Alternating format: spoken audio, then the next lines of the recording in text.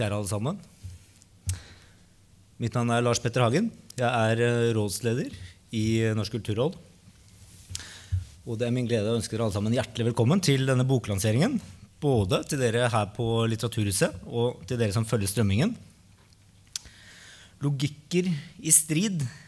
Kulturrådets virkemidler på litteraturfeltet er et resultat av et kunnskapsprosjekt som er igangsatt av Kulturrådet i 2018. Og denne boken den er skrevet av en gruppe forskere tilknyttet Høgskolen i Volda. Lars Halvorsen, Anne Mari Neple og Paul Bjerke er hovedforfattere og redaktører. Og I tillegg har Bjarne Riise Gundersen, Irene Hillestad, Bente Gunn Lien, Synnøve Lintner og Janne Bjørgan bidratt til enkeltkapitler. Allerede nå er som mange av dere vet, boken gratis tilgjengelig som PDF på eh, Kulturrådets nettsider, men selve papirboken vil være tilgjengelig om noen uker. Og jeg vil gjerne benytte anledningen allerede nå til å takke forfatterne for et godt arbeid, og samtidig også takke Kulturrådets administrasjon ved prosjektleder i Avdeling for kulturanalyse, Øyvind Prytz, seniorrådgiver for litteratur, Hege Langball Andersen, og ikke minst rådsmedlem og leder i Faglig utvalg for litteratur i Kulturrådet, Anne Oterholm, for deres viktige arbeid og bidrag i arbeidet. Innkjøpsordningen for litteratur har en helt særegen posisjon både i Norsk kulturråd og i norsk kulturpolitikk generelt. Da Kulturrådet ble etablert i 1965, var det nettopp for å administrere denne ganske uvanlige konstruksjonen, hvor staten kjøper inn bøker og distribuerer dem til bibliotekene. I starten var det bare norsk skjønnlitteratur for voksne som ble innkjøpt. Etter hvert har også andre sjangere blitt inkludert, og i dag har Kulturrådet fem ulike innkjøpsordninger. Vi har den automatiske innkjøpsordningen for ny norsk skjønnlitteratur, som dekker litteratur både for barn, unge og voksne. Og de selektive ordningene for ny norsk sakprosa, ny norsk sakprosa for barn og unge, tegneserier og oversatt litteratur. I 2017 og 2018 begynte Kulturrådet å jobbe med et kunnskapsprosjekt på litteraturfeltet. Tanken var i utgangspunktet å undersøke hvordan tilskuddsordningene fungerte i etterkant av noen ganske omfattende endringer som ble foretatt i 2014 og 2015. Men i løpet av den perioden Høgskolen i Volda har jobba med prosjektet, så har situasjonen endra seg på en måte som har bidratt til å endre fokuset. De to siste årene har det vært et sterkt press på innkjøpsordningen, særlig på den automatiske innkjøpsordningen for ny norsk skjønnlitteratur. Det meldes rett og slett på så mange bøker at budsjettrammene sprenges. Og det er klart at noe må gjøres for at innkjøpsordningen skal være økonomisk og ikke bare eh, kulturpolitisk bærekraftig. Men hva? Dette arbeidet gleder vi i Kulturrådet oss til å ta fatt på i tiden fremover, og denne boken gir oss et veldig godt utgangspunkt. Oppdatert kunnskap om kunst- og kulturfeltene om tendenser i tiden og om egne tilskuddsordninger er helt nødvendig for å utvikle Kulturrådet på en god måte. Vi trenger den kunnskapen forskningen kan gi oss. Det er også viktig for oss å bidra til at den offentlige samtalen om kunst og kultur har et godt kunnskapsgrunnlag å forholde seg til. Derfor bestiller Rådet med jevne mellomrom evalueringer av utvalgte ordninger i Norsk kulturfond. Og målet er å sikre at fondets mange ordninger treffer feltet på en god måte, Altså at de virker på den måten vi håper, at de utvikler seg i tråd med feltet og feltets behov. Derimot er det ikke så ofte at vi får gjennomført utredninger som ser på rådets samlede virkemidler på et helt fagområde. Det har vi nå fått med denne litteraturutredningen. Logikker i strid undersøker hele spekteret av tilskuddsordninger på litteraturfeltet. Det er et godt utgangspunkt for å diskutere hvordan vi skal håndtere de enkelte, enkelte ordningene. Men det gir oss også mulighet til å løfte blikket og tenke rundt hva Kulturrådets rolle skal være på litteraturfeltet på et mer overordna nivå. Høgskolen i Volda har gått inn i problemstillingene med stort faglig engasjement. Det har ført til en omfattende studie på nesten 500 sider. Jeg ser frem til å høre konklusjonene og til å sette meg inn i analysene men jeg ser også frem til å høre kommentarene i dag og reaksjonene fra dere og andre i tiden fremover. Tittelen 'Logikker i strid, strid' antyder jo at det er visse spenninger i dette feltet, og jeg antar at ikke alle er enige i alt som foreslås. Derfor skal også ulike stemmer få komme til orde på dette seminaret. Det blir kommentarer, det blir innspill, og det blir panel. Ellen Aslaksen, som jobber i Kulturrådets avdeling for kulturanalyse, skal lede oss gjennom seminaret. Og hun kommer til å presentere de ulike innleggene etter hvert. Men først så gir jeg ordet til eh, Per Bjerke, Lars Halvorsen og Bjarne Riise Gundersen og sier gratulerer med bok. Og igjen tusen takk for et veldig godt og grundig arbeid.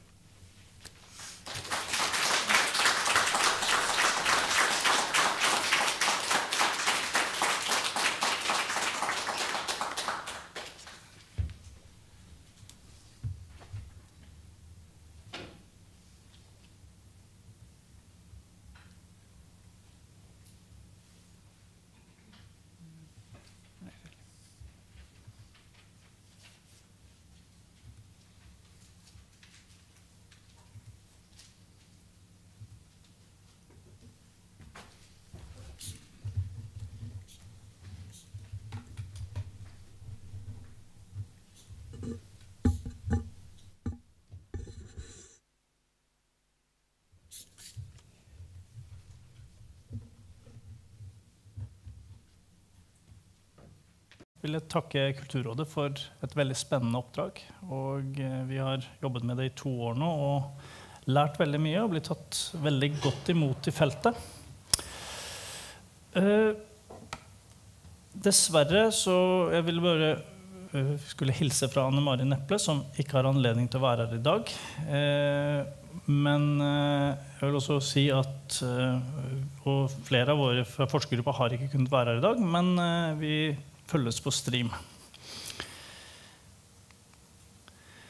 Oppdraget vårt har da vært å utrede og vurdere Kulturrådets virkemidler på litteraturfeltet. som teknisk det er formulert. Så vi, vi har sett på da hvordan de er bygd opp, og hvordan de forvaltes. Eh, og hvordan de bidrar til formålet. Og Formålet er at, kort fortalt at ny norsk litteratur blir skapt, utgitt, distribuert, lest og diskutert. Eh, og vi har da løst dette oppdraget ved å organisere oss rundt et felles, felles perspektiv, men samtidig å gi de ulike kapittelforfatterne ganske stor frihet til å analysere de, enk de enkelte delene ved den ordningen eh, selv. Eh, Fleershin og McAdam. Og dere som eh, for så vidt de de utfyller hverandre godt ved at de dekker, eh, Bourdieu dekker, har, har, analysert kulturen mer spesifikt, mens Fleeshing McAdam bidrar mer til analyser og har teoretisert F.eks. vil de innkjøpsordningene som møter litteraturen sin kunstlogikk, logikker fra markedet, logikker fra næringspolitikken, eh, logikker fra offentlig forvaltning og logikker fra kulturpolitikken. Og endringer i disse logikkene på de tilstøtende feltene påvirker dermed litteraturen også. I bibliotekene så gjøres det daglige avveininger mellom eh, litteratur som eh, man ønsker at folk skal lese, kontra litteratur som etterspørres. I et spenn mellom to logikker. en tjeneste Og de utviklingstrekkene vi har sett på, de utviklingstrekkene vi har sett på er eh, for det første at dette feltet, litteraturen, er preget av bemerkelsesverdig stor grad av stabilitet. Det er enighet om spillereglene, og fra tid til annen oppstår det stridigheter, som man kan forvente, men de blir stort sett løst. Og noen av eh, løsningene er at nye utfordrer en korporativistisk måte å tenke om, eh, om eh, bokbransjen på, som har preget bokbransjens organisering eh, med en del eh, unntak fra konkurranselovgivning tidligere. Men likevel så har dette feltet da, så langt holdt stand. Og Det er eh, vår vurdering. Det er et felt. Det er kanskje noen sprekker i muren, men den står.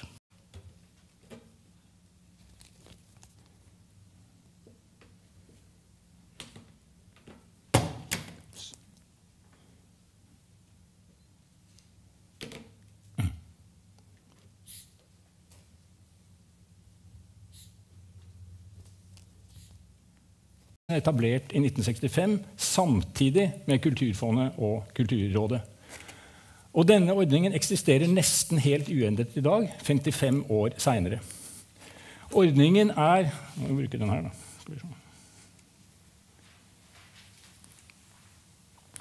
Ordningen er eh, e-, evaluert en rekke ganger og resultatet av alle evalueringer, uavhengig av status på oppdragsgiver og oppdragstaker, er den samme. Ordningen er og har vært en stor suksess. Den er kostnadseffektiv, den sikrer stabilitet og forutsigbarhet for forlag og forfattere eller produsentene, som vi helst ikke vil kalle dem. Og den sørger for at ny norsk skjønnlitteratur blir spredd til hele det norske folket, uavhengig av bosted og økonomi, via folkebibliotekene. Ideen som ble lansert av daværende Deichman-sjef Henrik Hjartøy, han vi ser bildet av her, tilbake på en konferanse i Arbeidernes Opplysningsforbund helt på slutten av 50-tallet, var bokstavelig talt et colombi-egg. Og Vår konklusjon er naturligvis eh, mye av den samme. Men vi vil understreke ett poeng. En svært viktig del med, som gjør at ordningen fungerer, er at den er automatisk. I den forstand at alle påmeldte skjønnlitterære bøker kjøpes inn i 703 papireksemplarer og 70 digitale eksemplarer, som spres til folkebibliotekene etter en gitt nøkkel. Denne automatikken gjør at det litterære kunstfeltet, der forfatterne og deres forlagsredaktører og konsulenter er de viktigste aktørene, kan konsentrere sitt arbeid om å lage litteratur på høyt kunstnerisk nivå uten å måtte skjele til disse bøkenes kommersielle potensial eller til moteretninger i det litterære feltet.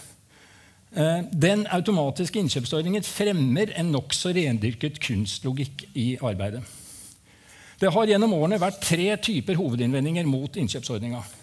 Den første er hva vi i denne forsamlingen trygt kan kalle den høyrepopulistiske, at våre skattepenger brukes til meningsløst vrøvl og babbel.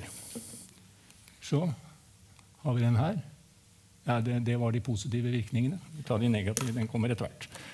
Eh, denne, dette snakket om vrøvl og babbel er en øvelse som jevnlig gjentas overfor alle typer eksperimentell og ikke fullt så eksperimentell kunst, og som til nå heldigvis er blitt avvist av et bredt politisk flertall.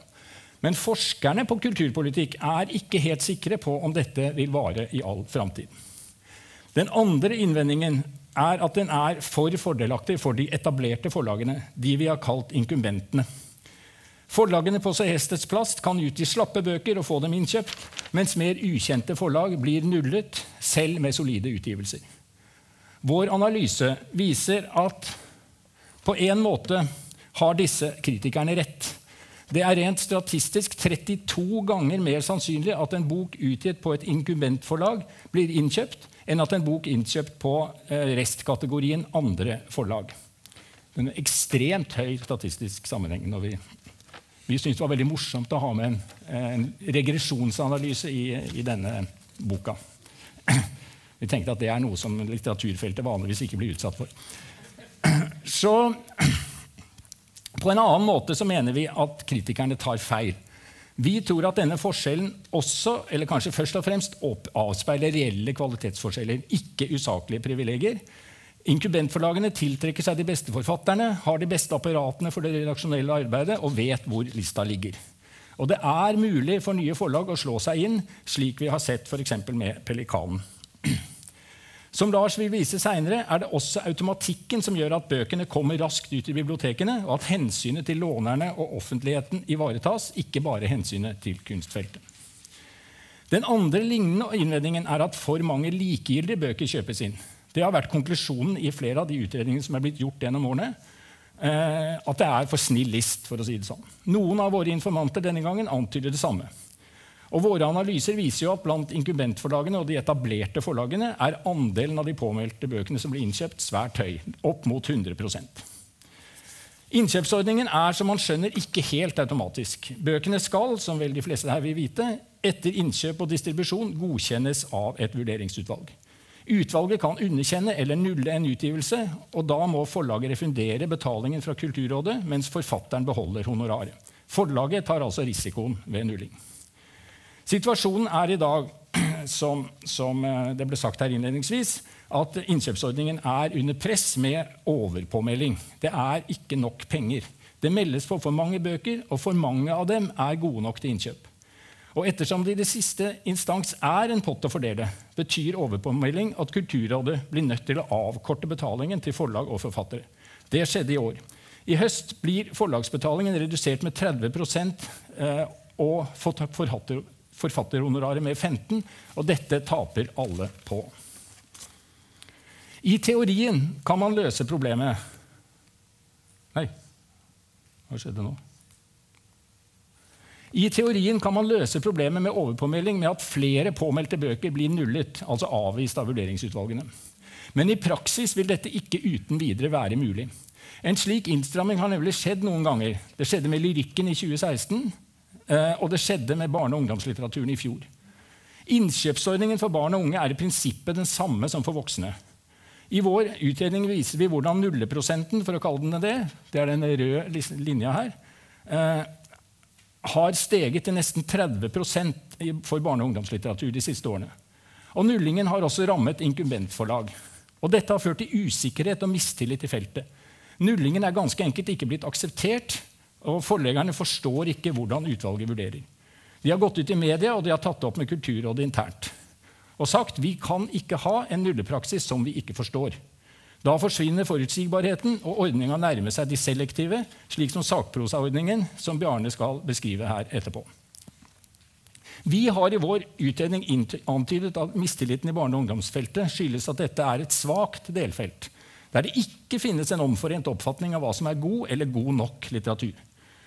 Og Situasjonen viser derfor at det er nødvendig med en felles forståelse i kunstfeltet om hva som er god nok litteratur, hvis ordningen skal kunne fungere og eventuelt strammes inn. Eh, ja, og eventuelt strammes inn. Eh, vi antyder også at mistilliten kan være en følge av svekkingen av det korporative preget eh, i ordningene som ble gjennomført i 2015. Det er ikke lenger feltets interesseorganisasjoner som utpeker utvalget. Det er Kulturrådet. Det er et resultat av en sterkere forvaltningslogikk har slått inn i rådet, og, i forvaltning, og forvaltning misliker i prinsippet i hvert fall, både korporative løsninger og kunstnerisk skjønn.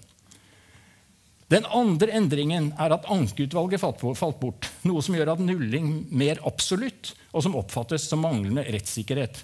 Særlig hvis feltet oppfatter at nulling skyldes ulike litteratursyn. Altså at vurderingsutvalget ikke legger feltets omforente kvalitetssyn til grunn, men sin egen litterære smak, for å si det slik. Og dette betyr at eventuelle forhøyde kvalitetskrav i automatiske ordninger bare kan gjennomføres hvis feltet samler seg bak dem. Er det mulig? Det vet vi jo strengt tatt ikke. Gjeninnføring av et ankeutvalg, som er et av våre forslag, vil trolig bedre situasjonen noe. Men det er neppe tilstrekkelig. Hvis ikke ordningen i framtida skal bli preget av ytterligere avkortninger som vil svekke forutsigbarheten, må antall påmeldinger eh, senkes. For det reelle alternativet er en selektiv ordning. Og en selektiv ordning har betydelige svakheter, som vi straks vil få høre om. Videre.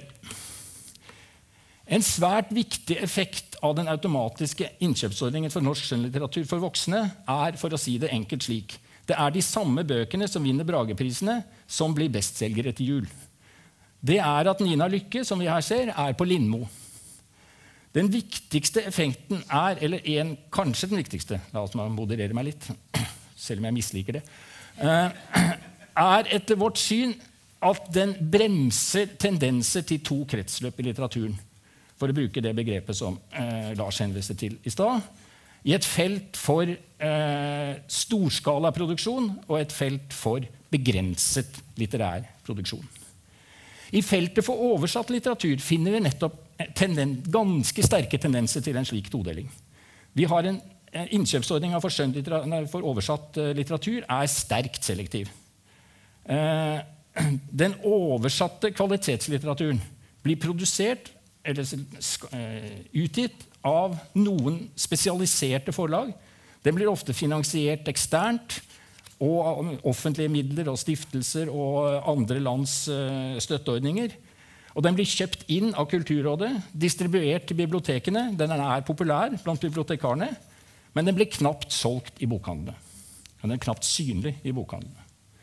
I den andre enden har vi et nokså rent kommersielt marked for oversatte bestselgere, gjerne anglosaksiske eller svenske, bøker der rettighetene kjøper for betydelige summer i det internasjonale markedet, og der de utstyres med omslag med bilder av kvinner med ryggen til, og selges i til dels svært store opplag, også på Rema 1000.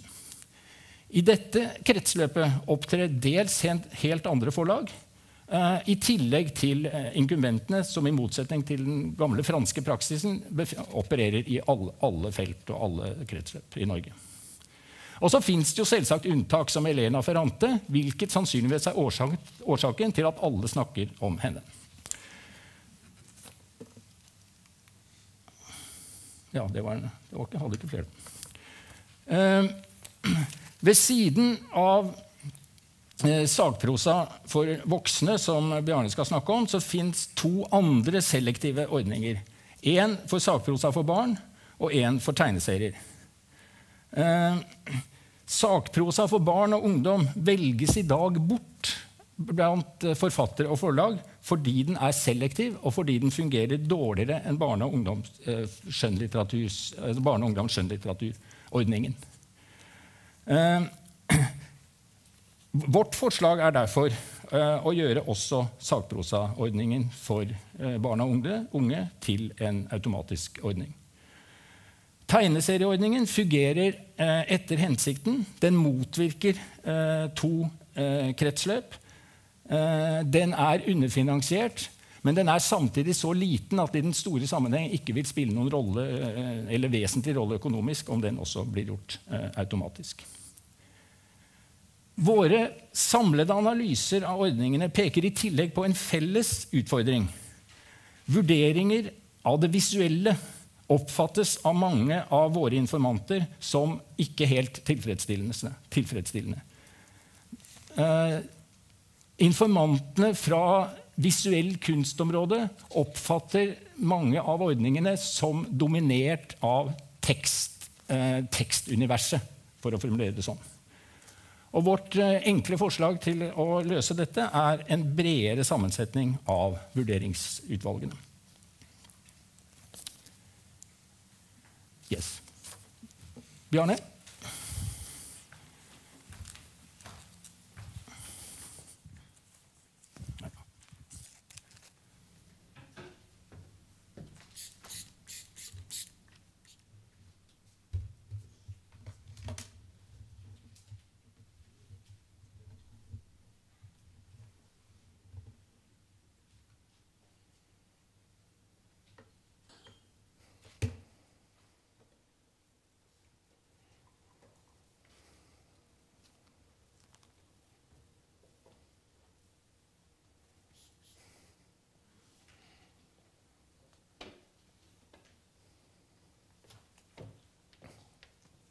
Skal du ha. Hvis eh, det her hadde vært et seminar om The Beatles, så er det sånn at mine to medforfattere ville vært de som hadde oversikt over hele diskografien. Mens jeg ville være han ene fyren som bare kan noe om ett album. Her kommer mine fem minutter om uh, The Rubber Soul. Eh, altså eh, innkjøpsordningen eh, for sakprosa for voksne. Og um, jeg har som de fleste andre som arbeider i dette feltet, utrolig mange ulike hatter, men her snakker jeg altså ut fra min gamle jobb som høyskolelektor ved Høgskolen i Volda. Eh, dette har skjedd. Innsynsordningen for sakprosa er som de fleste vet, eh, av relativt nyere dato. Den har vart i 15 år, først som en treårig eh, prøveordning, og så permanent i de siste 12. I denne tida har den vært en ubestridt suksess.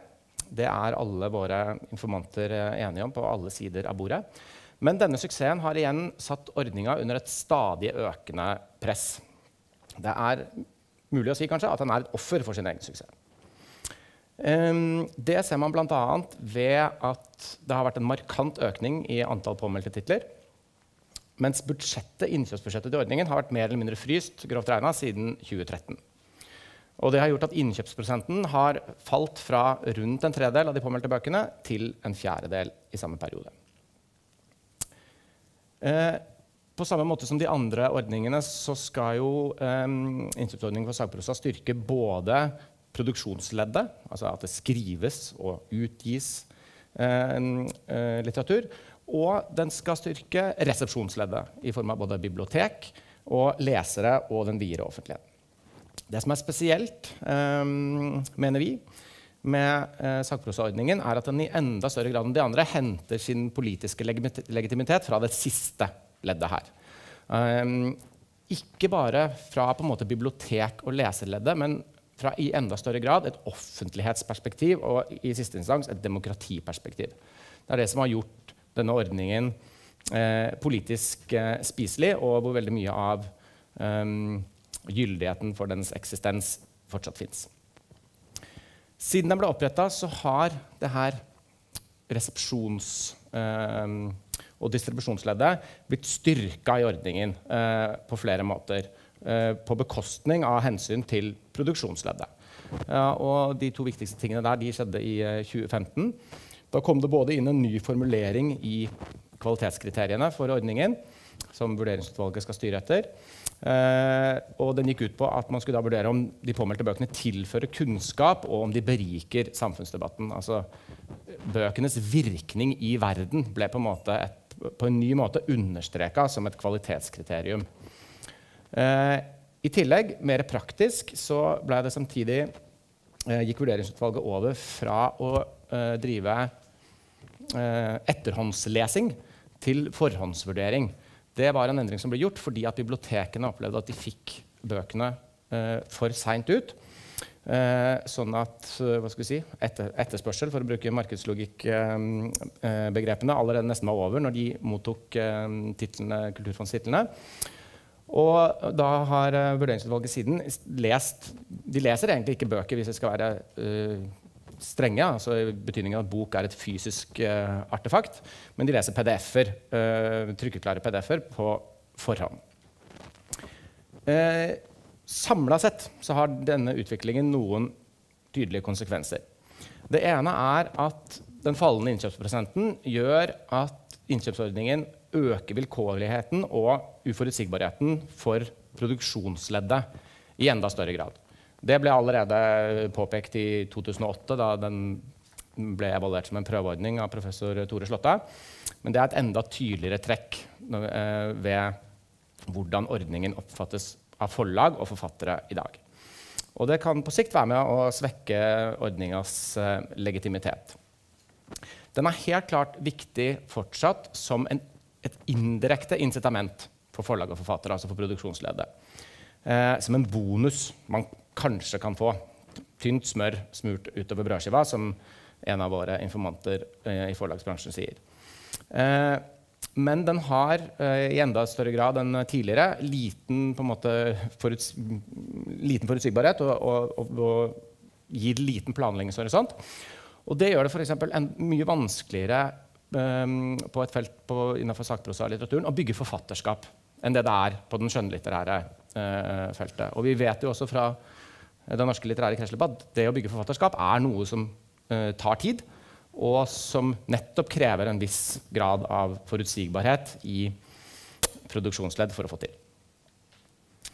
Um, en annen ordning, en annen effekt av at den uh, ordningen er selektiv, og at den er i stadig større grad sterkere selektiv ettersom for hvert år som går, um, det er jo at vurderingsutvalget i innkjøpsordningen for sakprosa har større makt og innflytelse enn i den skjønnlitterære ordningen. Hvor hvor, fordi den rett og slett uh, velger ut mye færre bøker. Uh, og det, denne egenskapen ved vurderingsutvalget er blitt styrka av de siste årenes omlegginger fordi at de nå leser manus på forhånd. Og det betyr at i de fleste tilfeller, ikke alle, men i de fleste tilfeller så gjør vurderingsutvalget sine vedtak før de påmeldte titlene har rukket å ha noen som helst offentlig resepsjon. Altså blitt anmeldt eller omtalt i den videre offentligheten. Tidligere kunne offentligheten fungere som en slags meddommer i vurderingsutvalgets kvalitetsbedømmelse.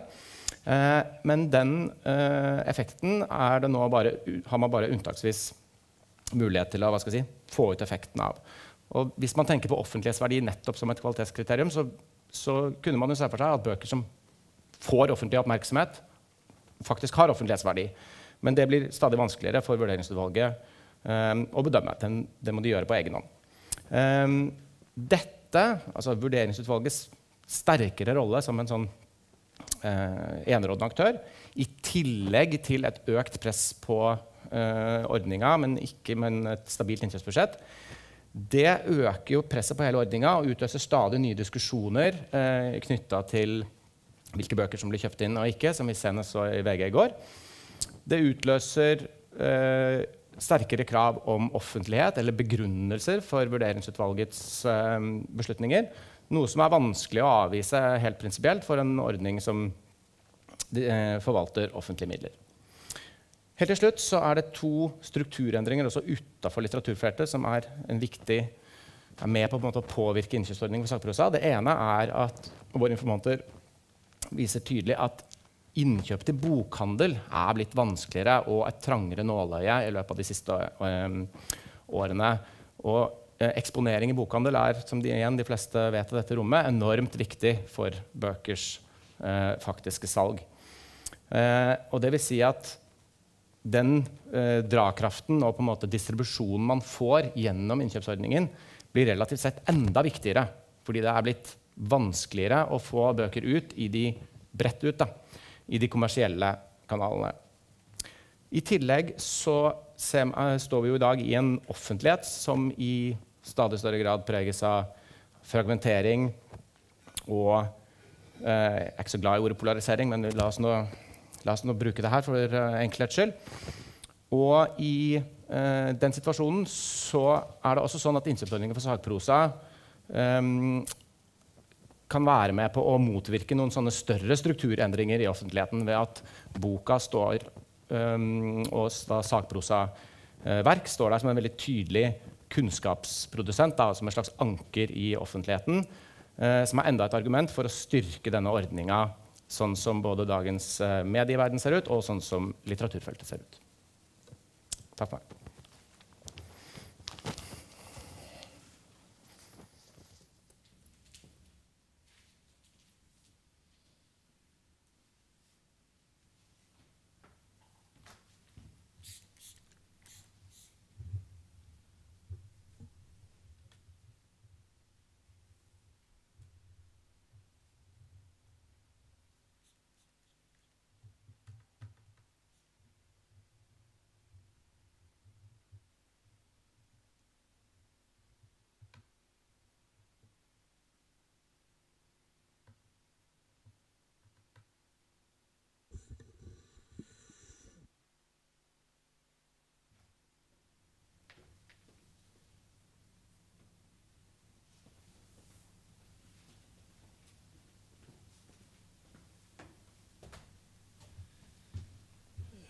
Vi har da sett nærmere på åtte ordninger, og fem av de er innkjøpsordninger.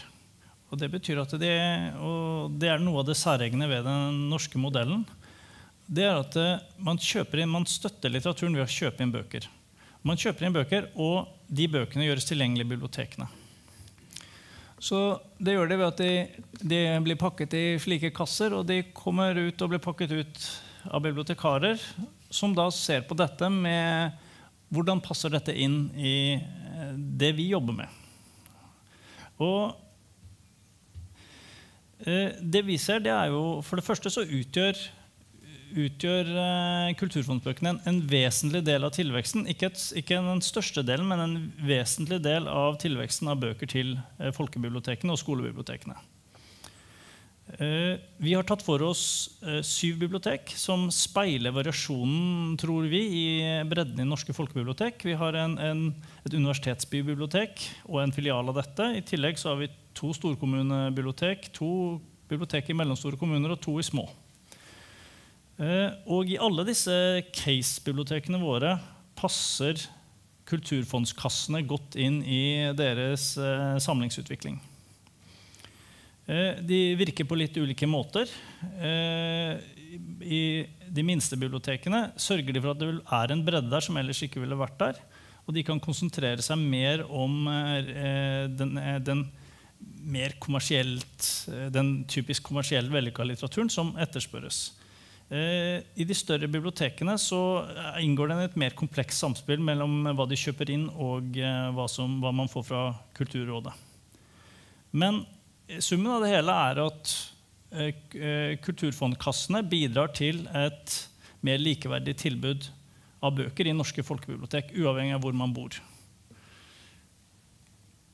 Eh, så er det et annet utfordring her. og det er at Disse syv bibliotekene våre og de andre folkebibliotekene som, vi, som ligner på de, de skal også formidle denne litteraturen. Her er det en praktisk utfordring.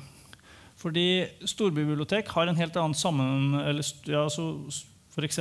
her i Oslo vil ha en helt annen sammensetning i staben enn det man har i et lite bibliotek. I Oslo har du ca. 100 utdannede bibliotekarer.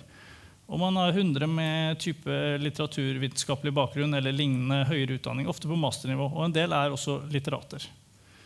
Og Det gjør at man har en helt annen forutsetning, både fordi man kan spesialisere seg, og fordi man, har, at man er et større fagmiljø til å formidle eh, denne bredden i litteratur.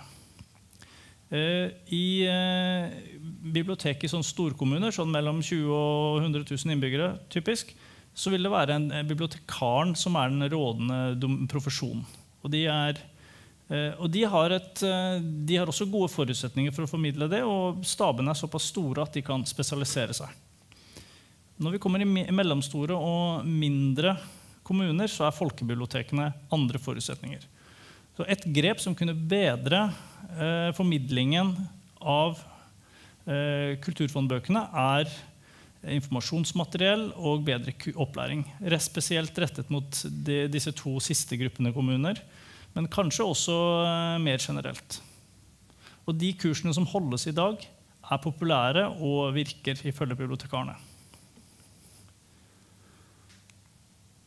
Så er jo store utfordringen er likevel distribusjon, som mine, for, mine medforfattere har vært inne på. Dette er fra, dette er fra eh, bibliotek, bibliotek, Biblioteksentralen. Fra der de pakker om og distribuerer bøkene fra. Men det er ikke her utfordringen ligger. Vi har analysert hvordan, eh, for, hvordan si, eh, forløpet fra en bok blir meldt på innkjøpsordningen til de kommer frem til bibliotekene i, i ulike typer kategorier, og sett hvor forsinkelsen oppstår. Og Hovedskillet her går mellom de selektive og de automatiske ordningene. De automatiske ordningene hvor man melder på en bok ved å sende inn et sett eksemplarer, type det som heter kategori 1, eh, gjør at de kommer ut raskt. Men det er fremdeles muligheter å få ned eh, tiden på distribusjonen i denne prosessen og få den noe raskere. Men, det, men eh, i bibliotekene er tid og aktualitet veldig nært knyttet sammen. Og verdien på å få en bok henger veldig nært på Den er omvendt proporsjonal med tiden den, eh, det tar fra den kommer til biblioteket, eller mellom den kommer til biblioteket og når den er utgitt i bokhandelen. Når du går på de, mer, går på de selektive ordningene, så går tiden veldig mye opp. Og eh, i en del tilfeller så sitter bibliotekene egentlig igjen med en bok som de allerede har måttet kjøpe inn, og så får de en oppbevaringsplikt for en bok de ikke lenger trenger. Det, her er det et stort samfunnsgode som blir forspilt. Og det er en viktig bakgrunn for av, en av de, eller vår hovedkonklusjon. Og vår, altså vi har sett på veldig mange, Dette er en grov forenkling av hva vi har funnet ut. Men eh, det går an å lese de ulike kapitlene og se på de særskilte delene. Men eh, vi, vi, vurderer at eh, de ordningene som finnes i dag, de fungerer i tråd med hensikten. De bidrar til at ny norsk litteratur blir skapt og gitt ut. Men de fungerer ikke så godt i tråd med hensikten når det gjelder eh, biblioteksiden. Og Folkebibliotekene får ikke fullt utbytte av denne ordningen i dag. Og det, Våre funn samsvarer her med det alle andre utredninger har funnet tidligere. Så Hovedgrepet vi foreslår, er å automatisere alle innkjøpsordningene for norsk litteratur. Det gjelder altså ikke den oversatte litteraturen. Vi kan uh, føre fram tre begrunnelser. Den ene er jo mer prinsipiell. Det handler om likebehandling av ulike litteraturtyper. At sakprosa likebehandles med, uh, med skjønnlitteratur. Det andre er at det gir økt forutsigbarhet for forlag og utøvere uh, da innenfor de ordningene som i dag er selektive. Som gir muligheten for å bygge forfatterskap og motvirker enda mer disse, tendens til dannelse av flere kretsløp. Og det er også viktig for at eh, kunstlitteratur skal bli til. I mange tilfeller så må eh, litteratene livnære seg gjennom flere typer utgivelser. Eh, og det kan de hente ved å veksle mellom kommersielle og kunstneriske kretsløp. Eller kunstneriske litteraturtyper. Men det aller viktigste det er å få ut bøkene i bibliotekene mens de ennå er mest aktuelle. Eh, forslaget vårt eh, vil trolig koste mer enn dagens ordning. På den annen side så vil den samfunnsmessige nytten oppveie kunne forsvare det ved at eh, norske folkebibliotek får mer bøker og langt mer verdifulle bøker eh, innenfor det som i dag er selektive ordninger. Så da takker jeg for oppmerksomheten foreløpig på vegne av oss. Og så kan vi svare på spørsmål. Det er vel lagt opp til det. Skal vi.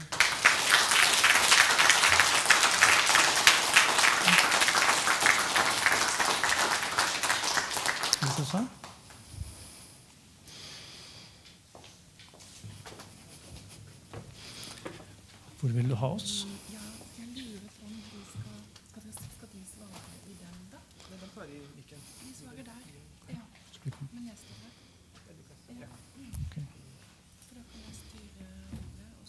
Skal jeg bare sette meg her, da?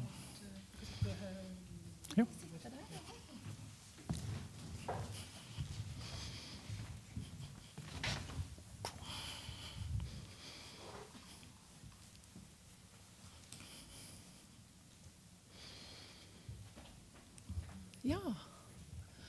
Tusen takk skal jeg først uh, si. Jeg heter Ellen Aslaksen og jobber i Kulturrådets analyseavdeling. Og for oss er sånne dager uh, som dette en festdag.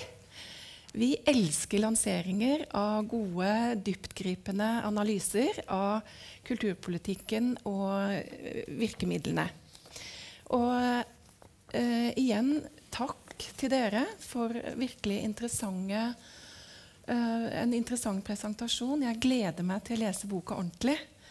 Uh, men uh, nå åpner vi først og fremst for spørsmål. Jeg har lyst til å bare si at jeg syns tittelen er genial.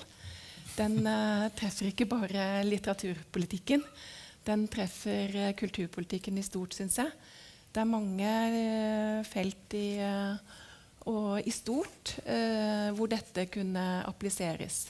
Men nå skal vi snakke om litteraturpolitikk.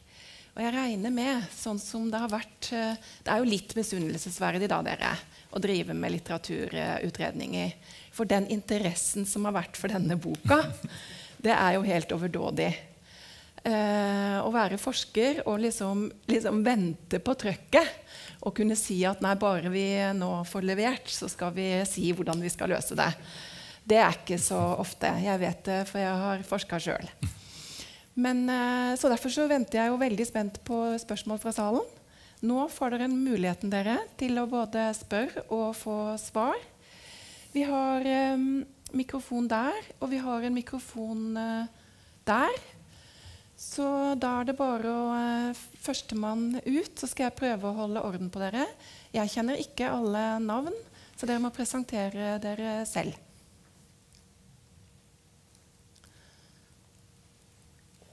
Kom igjen da, folkens! ja, vær så god. Du må opp og gå. Ja, og så er det deg etterpå. Mm. Hei, jeg er Terje Kolbjørnsen eh, og jobber på Oslo OsloMet og bibliotekarutdanninga, den gamle bibliotekarutdanninga der. Og Derfor skal jeg stille et spørsmål som er knytta til det som dere foreslår som et sånn udelt gode, virker det litt som da, på, for bibliotekarene, er at eh, automatisering av eh, to innkjøpsordninger, flere bøker til bibliotekene er det, Oppfattes det som et udelt gode for de bibliotekarene dere har snakka med? For jeg kjenner jo mer sånn anekdotisk hvert fall, til at de av og til syns at det kommer for mange bøker, og de er ikke så relevante, og kunne godt tenke seg å frigjøre plass i hyllene. og eh, det er ikke alt av kulturfond som blir mottatt like varmt. Så hvordan, Hva oppfatta dere når dere var ute i feltet? Uh, vi, det varierer mellom de, ulike, de, syv ulike bibliotekene vi har vært i. Men uh, i de minste bibliotekene så er det, så er det kanskje en 20% av titlene de ikke får lånt ut. Men de oppfatter også at tilbakemeldingene er da at dette både er nyttig fordi de, de får 80 titler, av titlene som er relevante for dem, og at de får hjelp til å velge ut et godt utvalg. Og når de får bøkene, så er tilbakemeldingen at uh, dette er gode bøker. For bibliotek bibliotekarer leser bøker på fritiden veldig mye, så de leser uforholdsmessig mye litteratur sammenlignet med de fleste. Og uh, de er nå gjennom den litteraturen, og de oppfatter det slik at dette er titler de gjerne skulle hatt. de... Uh, for de større bibliotekene, og det diskuterer vi litt nærmere også, så er det en utfordring med at man får flere sett, og man trenger trolig ikke så mange sett av hver tittel. Så man har, jeg har vært i lager i bibliotek og sett at det står eh, De fleste eksemplarene fra de mer smalere titlene de står urørt. I, så der er det en oppbevaringsplikt som er en utfordring. Og oppbevaringsplikten er noe av det som eh, bibliotekene ønsker at det blir sett på. Man kan få en oppmykning der. Mm. Da var det deg, ja. Bak, du er klar. Jeg er klar hvis mikrofonen er klar. Det tror jeg. Ja. Eh, jeg heter Anne Horn. Eh, og jeg er eh, personlig skyld i eh, frustrasjonen og misnøyen som nå råder i barnelitteraturfeltet. Jeg er leder for Barnelitteraturutvalget. Har vært det de, i de årene hvor avslagsprosenten har økt dramatisk. Og tar selvfølgelig fullt ansvar for det. Eh, da jeg fikk rapporten og leste den, så visste jeg ikke om jeg skulle le eller gråte. Og jeg helgarderte og gjorde begge deler. Eh, og så har jeg nå hørt eh, Paul Bjerkes utlegning og, og utdyping og presisering av en del av de punktene som står i rapporten. Det ene som jeg la merke til, var dette med feltets altså Det er misnøye og frustrasjon, åpenbart. Som om det skulle være noe nytt. Eh, men, eh, men, dette at eh, litteraturfeltet Akkurat hva han mener med det, er jeg ikke sikker på. Det burde jeg skjønne. Men, men, at det skulle være et annet litteratursyn som rådet der, enn i eh, dette utvalget, firepersonsutvalget som jeg har sittet og ledet, eh, at vi skulle ha et, en, en, en, mer subjektiv oppfatning, at, at, at, avgjørelsene skulle være basert på vår, vår eh, subjektive smak når det gjelder bøker og litteratur. Eh, spørsmålet mitt er egentlig eh, hvordan tenker Per Bjerke seg at utvalget skulle være sammensatt for at man skulle unngå at eh, utvalgsmedlemmene brukte sin personlige, eh, sine personlige erfaringer, sin, sitt personlige litteratursyn. Det er et, eh, et, et spørsmål som jeg syns er interessant å få svar på. Vi som sitter i utvalget nå, er oppnevnt fordi vi Eh, representerer en viss bredde innenfor litteraturfeltet. Selv har jeg vært eh, forlagsredaktør i 30 år. Eh, altså sittet på den andre siden av bordet og stønnet og båret meg over en del avgjørelser fra Kulturrådets side. men vi, jeg har, i likhet med mine kolleger i tidligere år, skjønt at skal det være en automatisk innkjøpsordning, med et vurderingsutvalg, så må bøkene vurderes. Og så må jeg finne meg i at en bok av en såkalt stjerneforfatter ett år faktisk blir nullet. Men det konkrete spørsmålet er hvordan skulle utvalget vært, eh, vært sammensatt? Takk.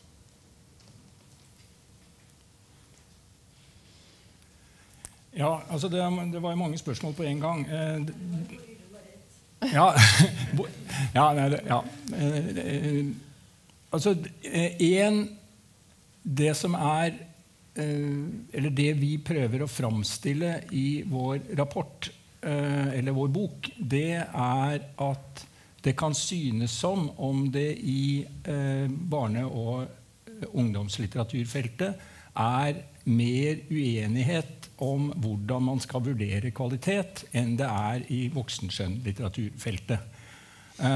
og det en, det mener vi kan være en forklaring på de, eh, den mistilliten som er, helt, som er, uttrykt og uttalt fra eh, forleggerhold, eh, og som vi i og for seg rapporterer i, i, vår bok. Eh, og som vi har prøvd å vise til eh, noen relativt gamle og vedvarende stridigheter om hvordan barne- og ungdomslitteratur skal vurderes. Eh, konkret så og, og, det vi prøver å, å si, er at denne typen problemer oppstår når deler av feltet oppfatter det som om at vurderingsutvalget har, en, har et annet litteratursyn enn eh, viktige deler av feltet. Da. Og så er ditt spørsmål hvordan skal man oppnevne et vurderingsutvalg eh, som tar hensyn til, til dette. Og vår, vårt konkrete svar på det er faktisk at man må ha et utvalg til. Eh, vi har foreslått å gjeninnføre eh, ankeutvalget som ble avviklet i 2015. Eh, nettopp fordi at det kan være en mulighet for eh, altså Dels så vil feltet oppfatte det som eh, en styrking av rettssikkerheten. Og dels vil det bringe inn flere stemmer i, eh, i vurderingen. Man Istedenfor å ha ett utvalg som vurderer, og som kan ha uh, ulike oppfatninger av kvalitet, særlig i felt der man har, uh, hvor det er betydelige stridigheter om dette, så vil man ha to uh, utvalg. Så det er vel helt konkret vårt, forslag, vårt svar på ditt spørsmål. Vi må videre til neste spørsmål, så da må det være veldig veldig kort replikk. Ja. Da ankeutvalget fungerte for barne så erfarte vi forlagsredaktører at det praktisk talt ikke var en eneste bok som gikk igjennom, eh, altså fikk en annen beslutning i eh, ankeutvalget enn den hadde fått i primærutvalget. Det var vår erfaring den gang. Fint. Takk. Vær så god. Ja, du, ja.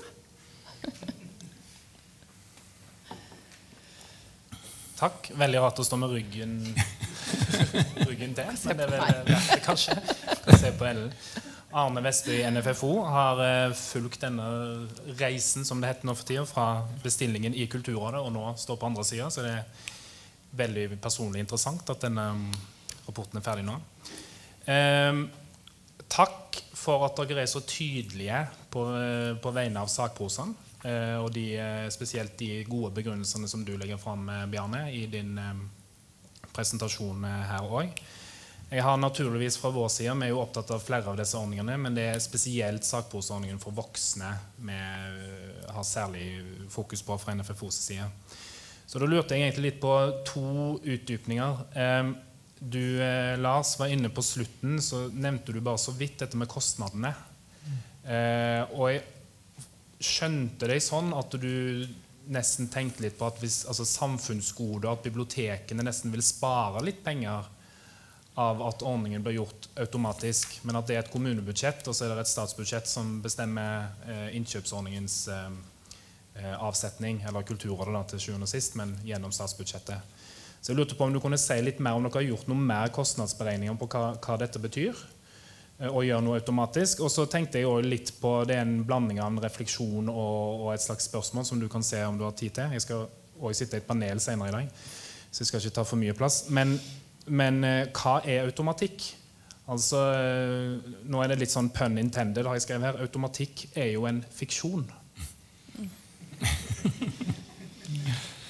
Da har jeg egentlig satt strek, for jeg har ikke sett flere hender. Der er det en hånd. Men jeg lurer på om vi skal ta deg uh, nå, og så samler dere opp. For nå nærmer vi oss en uh, avrunding. Vær så god. Ja, gjør det, du.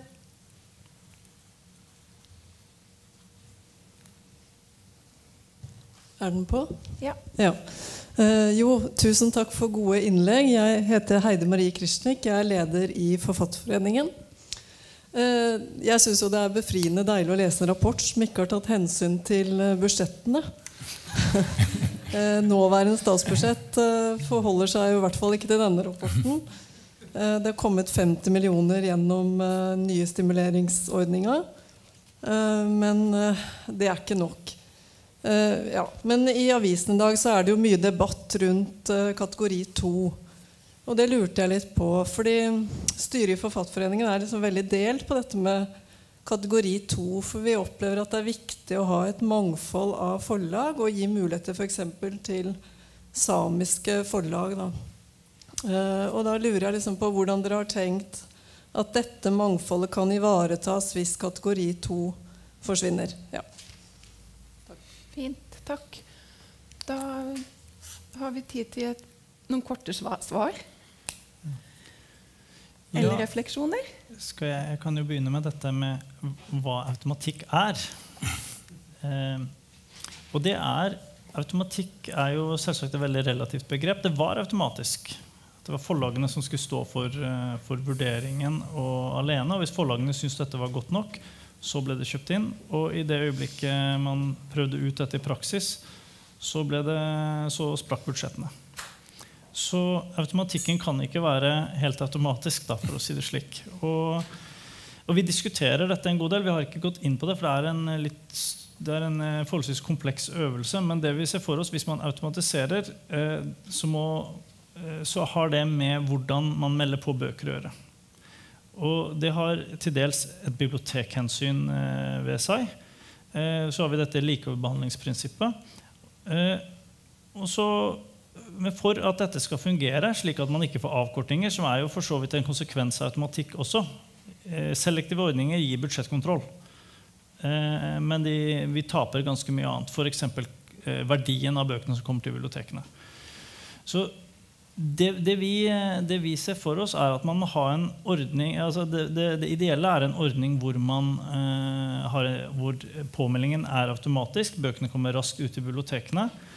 Og man klarer på et vis i bransjen selv å, å tilpasse listen dit den skal ligge.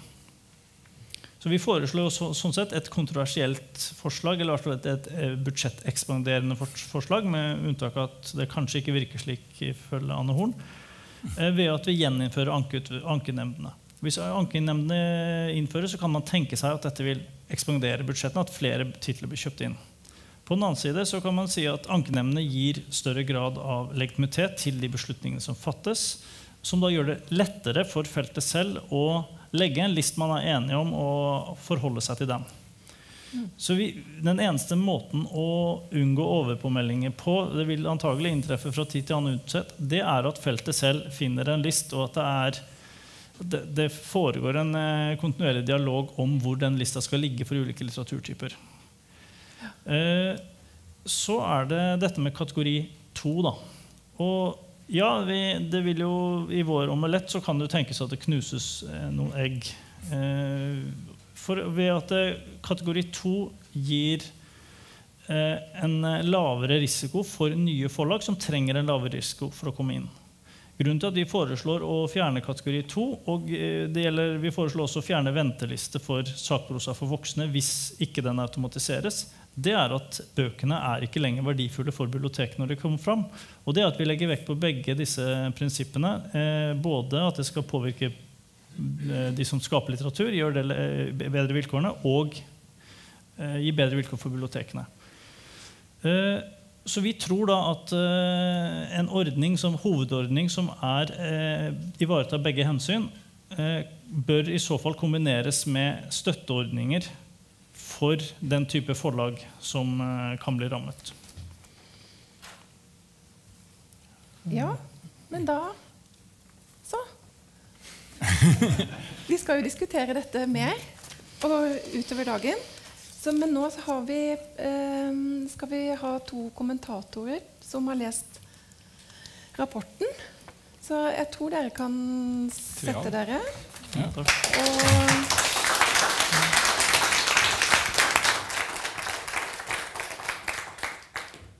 Jeg tenkte at jeg introduserer eh, begge kommentatorene nå.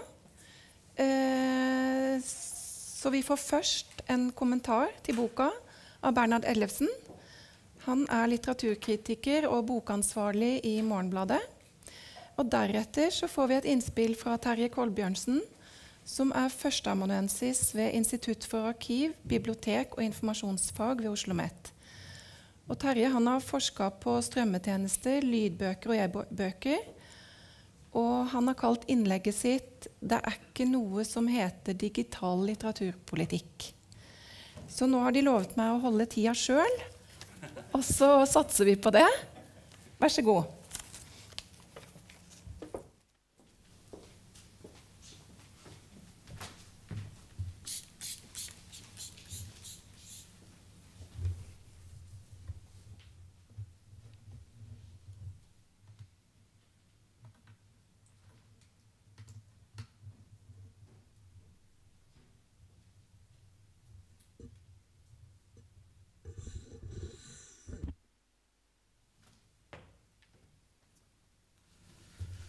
Takk, takk.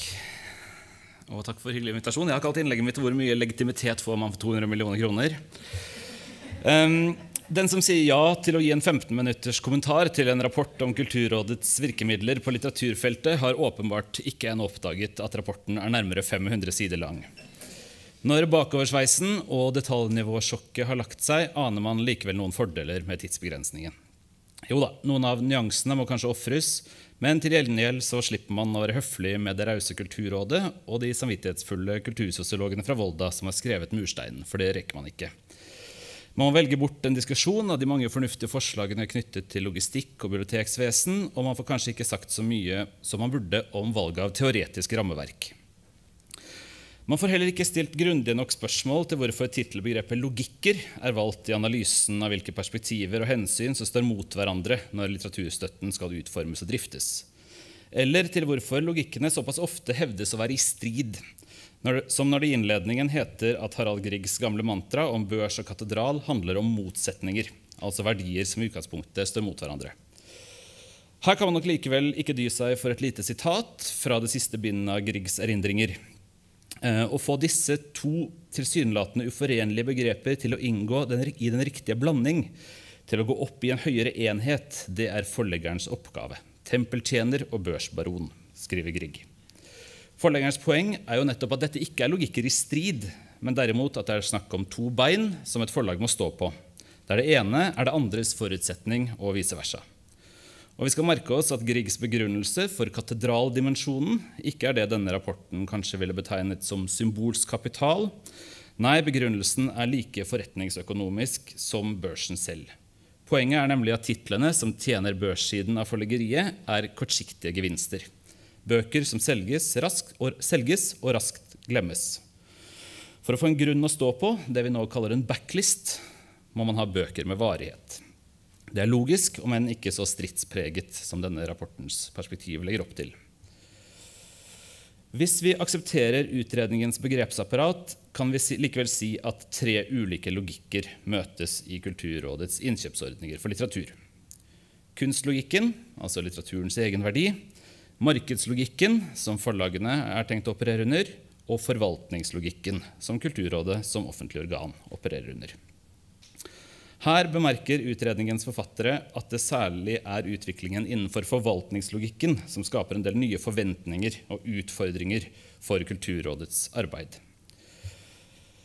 Hva betyr egentlig denne forvaltningslogikken, spør man seg under lesningen av denne utredningen. Hva viser seg hvis man skraper på denne logikken med neglen? Hva titter frem? Jeg har prøvd å skrape litt og kan melde om at det som titter frem, er en velkjent busemann, New Public Management.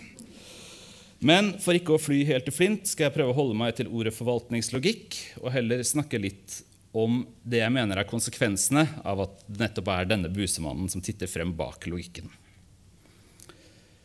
Hvis vi tar et halvt skritt tilbake, ser vi at denne utredningen først og fremst er opptatt av innkjøpsordningenes legitimitet. Det kan handle om legitimitet sett med politikkens øyne eller med opinionens, men først og fremst viser det seg å handle om legitimiteten ordningene har i litteraturfeltet. Og det er her det blir interessant, spør dere meg. Funnene er riktignok ikke overraskende. Den automatiske innkjøpsordningen for skjønnlitteratur for voksne nyter skyhøy legitimitet. Det viktigste er at ikke for mange bøker nulles, forstår vi. Det truer legitimiteten. På det barnelitterære feltet, der avslagsprosenten er litt, men ikke dramatisk mye høyere, er legitimiteten litt, men ikke dramatisk mye svakere.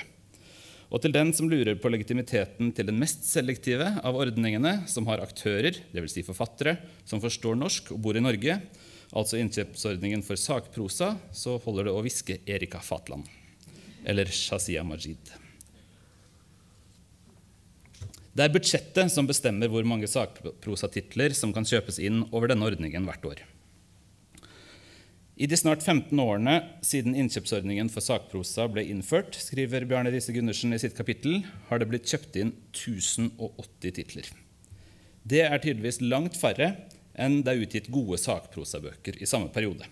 Noe som resulterer i misnøye og høylytte diskusjoner om enkelttitler. La gå at en stakkars litteraturkritiker som lengter etter én eller to eller tre virkelig gode sakprosabøker i året, lurer på hvor, da, hvor disse 1077 andre uslåelige bøkene er å finne. Mer interessant er det å spørre om hvordan dette blir et spørsmål om legitimitet. For hva betyr egentlig legitimitet i denne utredningen? I tilfelle sakprosaen handler det om to konkrete aspekter, i hvert fall på produksjonssiden. For det første handler det om ordningenes evne til å stimulere feltet som helhet. Her synes det, og det bekrefter Gundersen i sin innledning, å herske relativt liten uenighet. Innkjøpsordningene gjør norsk litteratur, uansett sjanger, rikere og bedre. For det andre handler det om forvaltningslogikk. Og Her begynner jeg virkelig å bli nysgjerrig og ærlig talt litt urolig for hva denne utredningen egentlig har å fortelle oss. Til tross for at språket her er utrederens, stort sett, så finnes det fortsatt muligheter til å utlede det som en gang ble kalt for en holdning i denne teksten. Og Den holdningen ser ut til å være i takt med utredningens forvaltningslogiske mandat.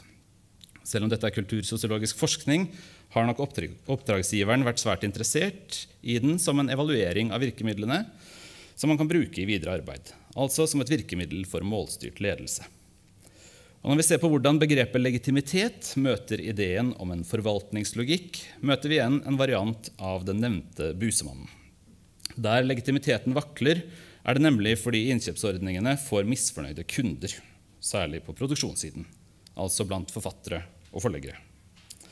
Innkjøpsordningene har lav rettssikkerhet, hevdes det f.eks., og jeg må innrømme at øyebrynene søker opp mot hårfestet når jeg leser dette ordet brukt slik. Utredningen vier oppsiktsvekkende mye oppmerksomhet til hvordan det føles å bli nullet fra de automatiske ordningene, eller ikke innkjøpt fra de selektive. Det er vondt for den enkelte, det følger prestisje med innkjøp til de selektive ordningene. Enkelte forfattere hevder sågar at de ikke ville orke å skrive mer hvis de ble valgt bort fra sakprosaordningen flere ganger på rad. Eh, det antydes sågar at man skammer seg for å sjekke sosiale medier for om andre forfattere jubler over sine triumfer. Forleggere tar selvfølgelig sine forfattere i forsvar. De karakteriserer kriteriene til de selektive ordningene som tombola og bingo. For den relativt nøytrale observatør blir overraskelsen ærlig talt til slutt at ingen av informantene ganske enkelt har satt seg ned på gulvet og ropt 'det er urettferdig'. Det er her jeg blir i stuss om ordet legitimitet egentlig er det rette, og om vi egentlig snakker om forvaltning i klassisk forstand. Markedskorrigerende støtteordninger til kunst står i et naturlig krysspress. Det ligger i selve begrepet. Poenget er jo å gripe inn på tvers av majoritetens ønsker og preferanser, slik de kommer til uttrykk i forbruket deres, for å skape muligheter for uttrykk vi verdsetter av andre grunn enn de rent økonomiske. Legitimiteten vil alltid være en stein i skoen. Og den blir det i hvert fall hvis man ikke våger å argumentere for disse støtteordningene med de samme premissene som de ble skapt på men snarere prøver å tilpasse terrenget løpende etter et kart i hastig og impresjonistisk omtegning. I denne utredningens perspektiv, skeptisk som teorien gjør den til hegemoniske oppfatninger på et felt, for dette blir jo doxa, kan vi snakke om at feltets største aktører synes opptreden er uttrykk for en frykt for å miste privilegier, bør vi kanskje heller spørre om de er på langt nær redde nok. Det faktum at utredningens undersøkelse av ordningenes legitimitet avdekker såpass mange ordningene for, altså dette har vi vært innom allerede da, Alle innkjøpsordningene for norsk litteratur bør gjøres automatiske etter modell av den for skjønnlitteratur for voksne, for den har så høy legitimitet. Og fordi det som setter legitimiteten på spill, er avvisningen av bøker gjennom enten nulling i de automatiske ordningene, og likevel så er jo dette langt utenfor det realistiske, for å si det pent. Noe av grunnen til at mange av oss følger ekstra nøye med på innkjøpsordningene om dagen, er jo at det reelt kuttes i dem.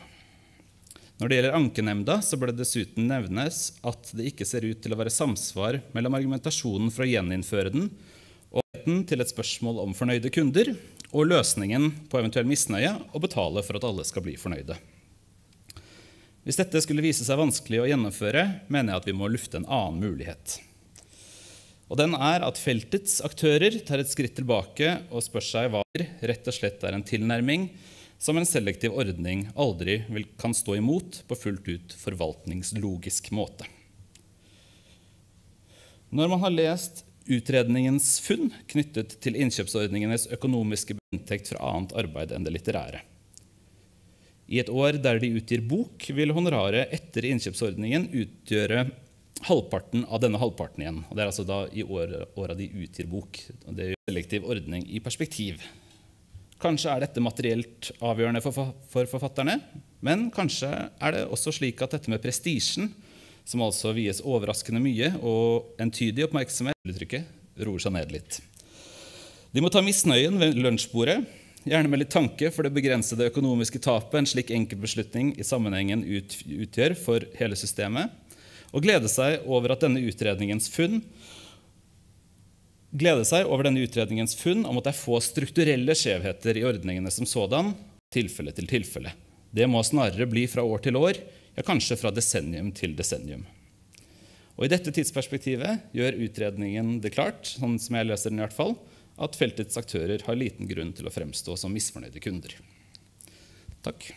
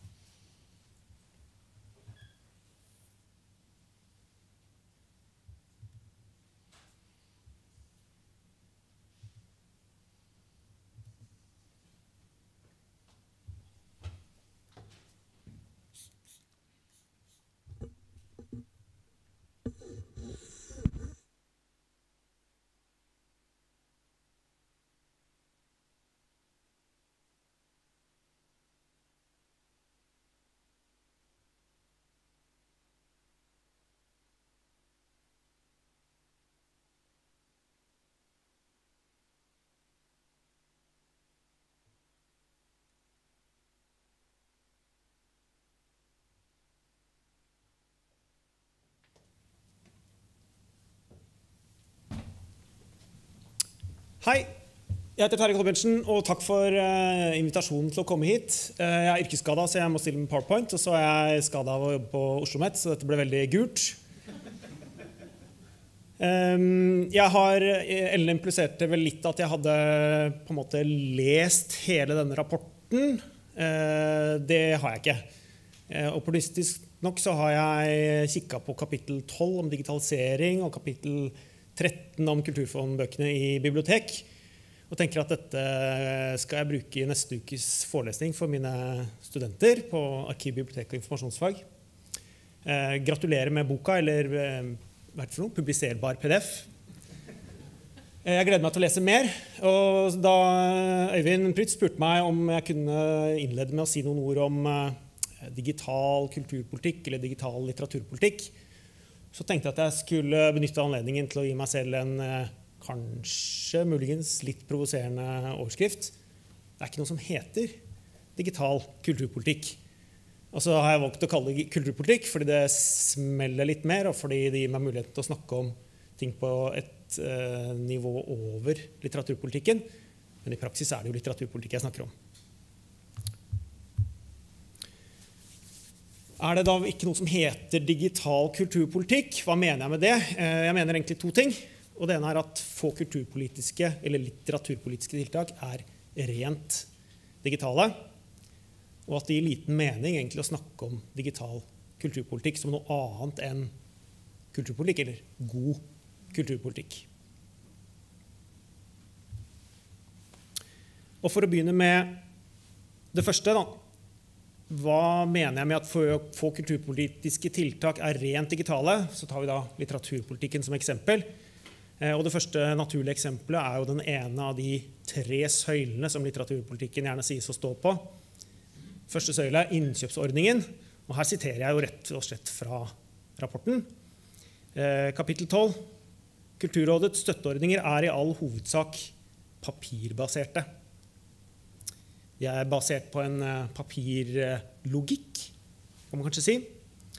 Eh, og dagens ordning bygger typisk nok for feltet på en papirboklogikk der løsningene er mest mulig lik innkjøpsordningen for papirbøker, er altså det direkte sitatet her.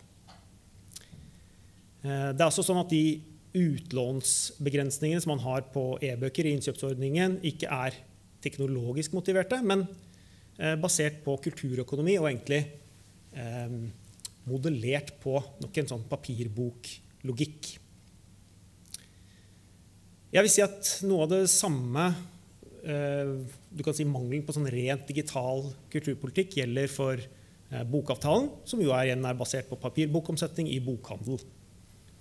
Så har man fått til, som mange kjenner til, av denne lengegående debatten om eh, strømmetjenester og skaffeplikt for de ulike strømtjenestene og leveringsplikt for, eh, for, forlagene i ulike strømtjenester som Storytel og Fabel. Der har man fått til et sånt tillegg om at eh, skaffeplikt og eh, leveringsplikt gjelder også i strømtjenester. Men i praksis etterleves jo ikke dette. Så det er noe med at Der man har forsøkt å eh, implementere et slags sånn eh, digitalt tillegg, så eh, fungerer det ikke etter hensikten. Hva nå den var. Momsfritaket, den tredje søylen, Eh, er jo da også et fritak som etter hvert gjelder for merverdiavgift både på digitale og trykte bøker. Men det er først og fremst en likestilling av formater, ikke et sånt digitalt eh, tiltak. Selv om eh, det kanskje kan argumenteres for at det er en eh, forenkling. Så på kulturpolitikken eh, så er jo noe av grunnen til f.eks. at denne tillegget i bokavtalen ikke har hatt så store konsekvenser at kulturpolitikerne eh, i stor grad har trukket seg litt tilbake eller vært tilbakeholdne med å mene veldig sterke ting. Og jeg har et sitat her fra da, altså daværende kulturminister Trine Skei Grande mai 2019. og Da hadde vi allerede dette, hadde hatt dette tillegget i bokavtalen i to år.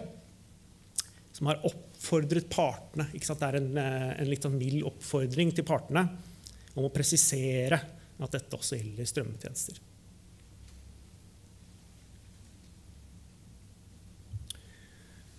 Så til det andre poenget mitt, som er at det gir liten mening å snakke om digital kulturpolitikk som noe annet enn kulturpolitikk. Og det handler om, og her er kanskje eh, Min logikk er nok ikke i strid med eh, bokforfatterne, men her betoner jeg kanskje litt mer enn det som jeg oppfatter som en gjennomgående eh, digitalisering, eller i hvert fall en, en preging av det digitale i eh, kulturlivet og litteraturen allerede. Og viser til John Thompson, som jo er sitert i rapporten, og som er en av de som også snakker om at litteraturfeltet har en, har en logikk, 'logics of the field'.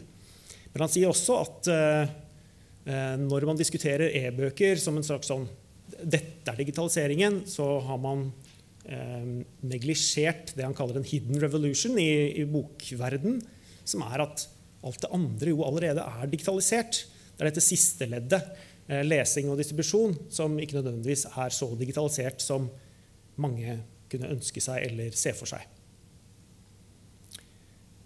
Og det kan vi jo bevitne her i dag. Vi sitter og diskuterer en bok som jo ikke foreligger. Jeg hadde tenkt å stå og holde den fram og vise sånn på boksider her, men en, vi diskuterer en eh, publiserbar PDF.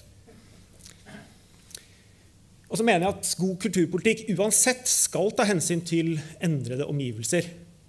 Og det inkluderer også digitalisering. For på samme måte som jeg ikke mener at det gir mening å kalle festivalstøtte for en analog kulturpolitikk, så er det heller ikke noe som burde være digital kulturpolitikk på samme måte. Eller at eh, riktignok den utgåtte lisensavgiften til NRK var en slags form for elektronisk kulturpolitikk. Nei, det er en form for kulturpolitikk. Punktum.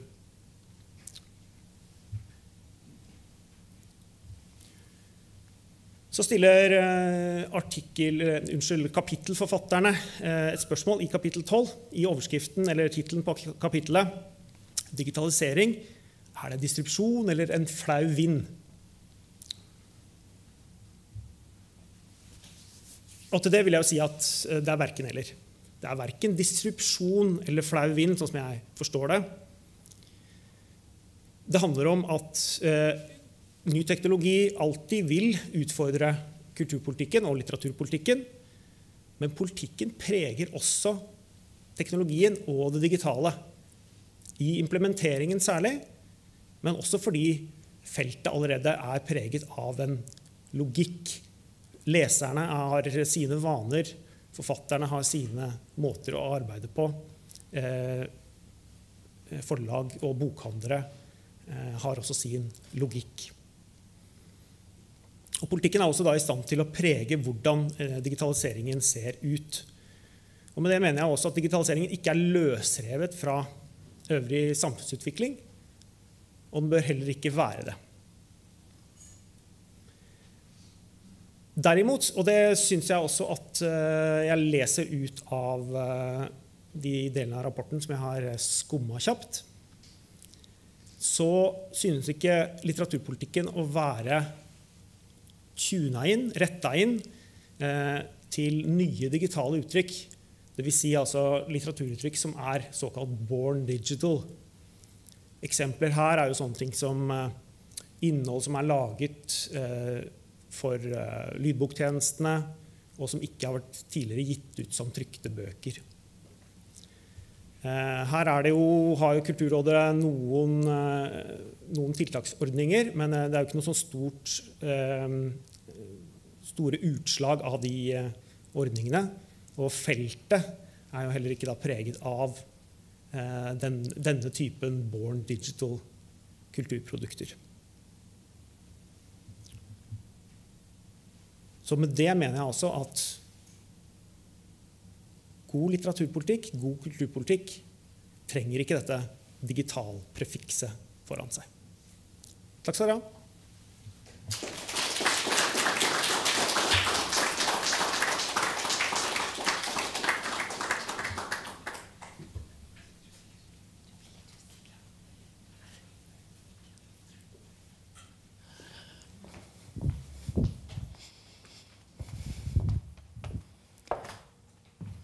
Tusen, takk for inspirerende kommentarer.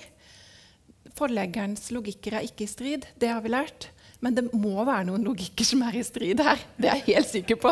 uh, dere, nå er det lunsj. Um, jeg ble litt i tvil. Jeg har ikke fått en veldig veldig klar beskjed om hvordan denne lunsjen uh, skal serveres. Anita, er du her? Den kommer inn her. Kjempefint. Og da uh, møtes vi her igjen presis klokka 12.30. Fint. Og så husk på Raymond. Hold avstand og han, Jeg tror han ville vært veldig fornøyd med oss i dag også. Det vil jeg si, all denne vaskinga. Håper han ser på oss, egentlig.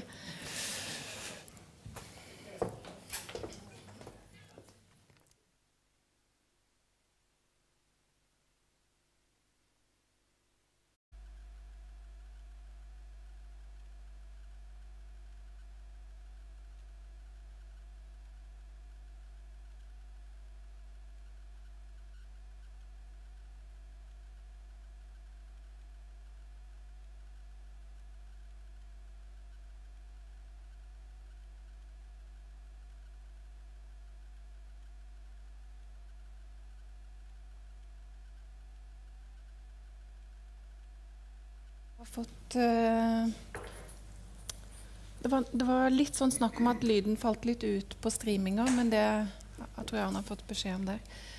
Håper det går bra der hvor dere er, både i salen og hjemme. Uh, men uh, dere, velkommen tilbake. logikker i strid rommer en rekke forskjellige tematikker og perspektiver. Eh, på Kulturrådets virkemidler på litteraturfeltet. Og det er veldig mye vi kunne snakka om. Jeg kjente jeg bare etter første så bobla det nesten over. Men eh, vi har et ganske bredt eh, program i det videre òg. Um, eh, vi håper å kunne åpne opp for en del viktige diskusjoner som selvsagt må tas videre i andre fora. Men dette skal vi gjøre på to måter. Først skal vi få tre korte innspill. Eh, og så skal vi ha en eh, paneldebatt.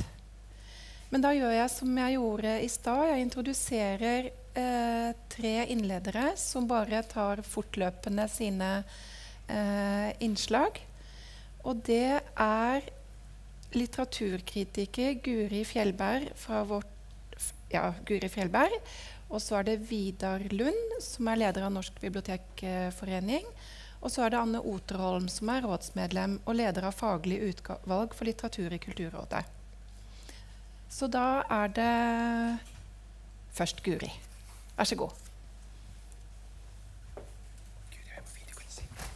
Ne nemlig, hun er på video.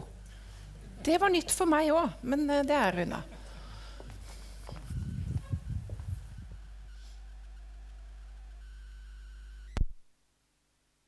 Hei fra Bergen, og gratulerer med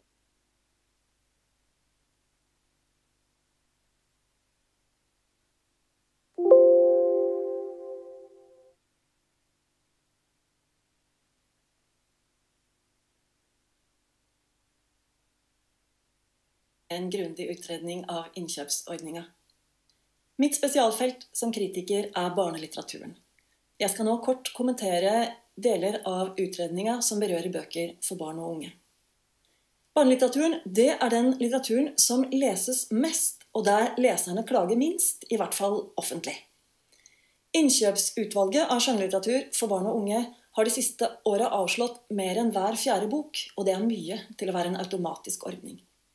Men avslagene kan ses i sammenheng med den talen som Kulturdepartementets jury holdt under utdelinga av sine priser i år. I denne oppsummeringa av barnebokrikets tilstand sa juryleder Silje Johannessen. Juryen ser også en utfordring med for svak korrekturlesing og redaktørstøtte i barne- og ungdomslitteraturen. Dette er dårlig gjort overfor unge lesere som skal lære seg å bruke språket, og det reduserer muligheten for å lage best mulig litteratur for både erfarne og lovende forfattere som ikke får den støtten de trenger. Det kan altså se ut som en god del av barnelitteraturen kunne ha blitt enda bedre dersom forlagene hadde brukt litt større ressurser på den. Litt flere redaktørtimer, litt mer språkvask, litt mer korrekturlesing. På den ene sida skjønner jeg at både forfattere og redaktører har begrensa med tid og krefter. På den andre sida lurer jeg på om innkjøpsutvalget har gjort rett i å legge større press på forlag, forfattere og illustratører ved å avslå såpass mye. For utredninga vi presenteres for i dag, er basert på intervjuer med en rekke sentralt plasserte kilder, også på barnebokfeltet. Likevel skiller utredernes materiale seg fra mitt på ett vesentlig punkt. Til meg innrømmer enkelte, enkelte redaktører at de spekulerer i innkjøpsordninga. Men ingen vil selvfølgelig siteres på det under fullt navn. Men det fins altså folk i store forlag, de er sikkert i mindretall, som innrømmer at de ikke gir manuset en runde til fordi det er for lite å tjene på det. Boka vil verken vinne flere priser eller få noe større salg av den grunn, så lenge den holder minstemålet til innkjøpsordninga, får det være godt nok. Hvem skal da sørge for at barn og unge får tilgang til så gode bøker som overhodet mulig. Vi kunne jo håpa at kritikere som meg kunne ta den jobben. Jeg leste meg gjennom anmeldelsene av en rekke nulla titler i fjor. Selv der var kritikerne overveiende positive, særlig i de største massemediene. Som utredninga påpeker, er jo også vi kritikere underlagt nye markedsvilkår i det som kalles oppmerksomhetsøkonomien. Mine anmeldelser blir bedre lest hvis jeg er positiv. Det motiverer oss kritikere til å konsentrere oss om de beste bøkene, og det motiverer oss til å legge mest vekt på hvilket utbytte leserne potensielt kan få. Heller det enn å be forfattere og forlag om å skjerpe seg. Problemet er at det i lengden kanskje ikke er det som tjener unge lesere best. I sin konklusjon mister også denne utredninga barn og unge litt av syne. Den argumenterer f.eks. mot at innkjøpsutvalgene skal begrunne sine avslag. Hovedargumentet er ikke at det, være, at det vil være for ressurskrevende, for det kan jeg forstå. Hovedargumentet er at påkjenninga på forfatterne blir for stor hvis de får sine svakheter offentliggjort. Nå er det sånn at jeg som journalist må søke om innsyn for å få lese et avslagsbrev til et forlag. Så noe gapestokk kan vi vel ikke akkurat kalle det. Og der det er stor makt, bør det også være stor åpenhet. Når avslag ikke begrunnes, ikke begrunnes da mister vi en læringseffekt i forlagene som leserne kunne vært tjent med. Det er helt uproblematisk å være uenig med utredninga på dette punktet.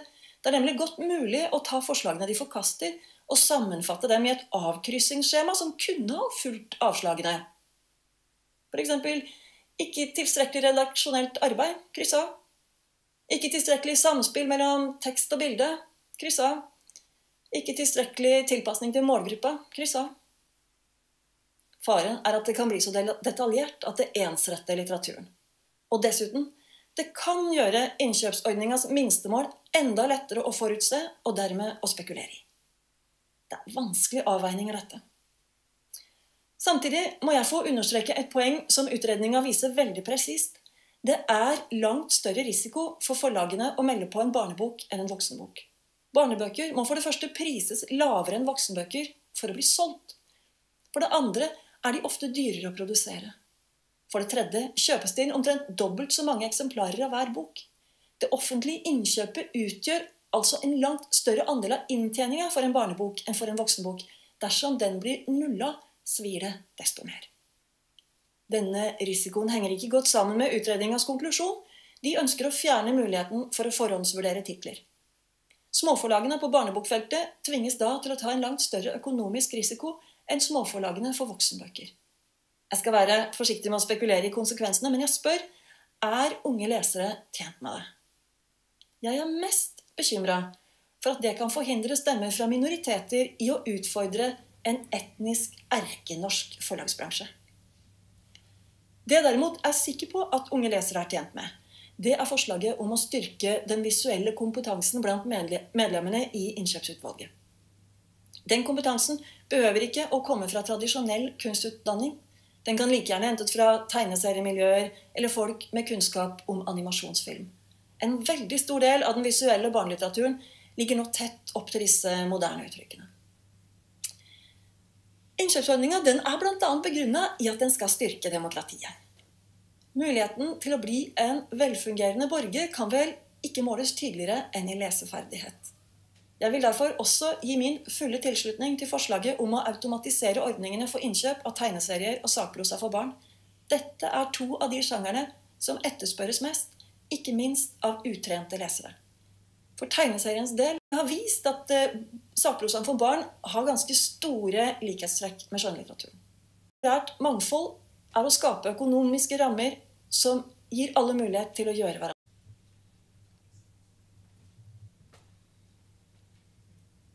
blitt. Og en rapport som forhåpentligvis kommer til å legge føringer på arbeidet med innkjøps- og litteraturpolitikken. Hva er bibliotekas rolle i det litterære kretsløpet? Hva er bibliotekas rolle i lokalsamfunnet under alle som bor i landet? Vi skal være en uavhengig møteplass og arena for offentlig samtale og debatt. Gratis tilgang til bøker og andre medier. Og viktig understreking her er at det skal være gratis og ikke minst momsfritaket i utdanningsinstitusjonene og bedrifter. Hva konsekvenser ville det få for, biblioteket? Min vurdering var tydeligvis ikke en veldig god oppsummering av både styrker og svakheter ved ordningene i dag for bibliotekene. For det er sånn at det her 600 titlene fra Kulturfondet og ganger med fem år tar en veldig stor del av den fysiske plassen i 2014. Biblioteksjefene er redaktører, de er kuratorer for Samordningens primære formål er å gjøre det mulig å skrive og gi ut bøker og love av det. Media. Uh, heldigvis så kom jo den e-versjonen av bøker. Uh, og vi ser at det har, det har, tatt av. En mye større versjon i innkjøpsordningene. Den kan uh, gjerne diskuteres. I rapporten eller annen bok på lydbok, og så har jeg bare fått en retur. Nei, denne oppleseren her, leseren her kan ikke jeg bruke. Virker, ikke. Dårlig. Eh, og, det, og, det, og, det, er ikke egenvitaliseringa. Og E-lydboka er jo ikke bare et eget kunstnerisk uttrykk, hun er også et medium som hører naturlig til på biblioteket. Hittil så har det. Og jeg må jo innrømme at på mørke dager så tenker jeg at forlagets tilnærming til e-lydbøker og bibliotek viser hva de egentlig mener om bibliotekene. På lysere dager så kan jeg gå med på at forlag kan være nervøse for det er populært. Og dermed vil ikke biblioteket ha ressurser eller ønske om å utkonkurrere strømmetjenester eller andre kjøp av, av lydbøker. Vi lager køer på nett, noe som gjør, som på papir eller CD, at når de populære forfatterne er utlånt eller opptatt, så finner du også være med og formidle den gode historien og den rette kunnskapen, uavhengig av hvilket medium de finnes på. Takk skal du ha.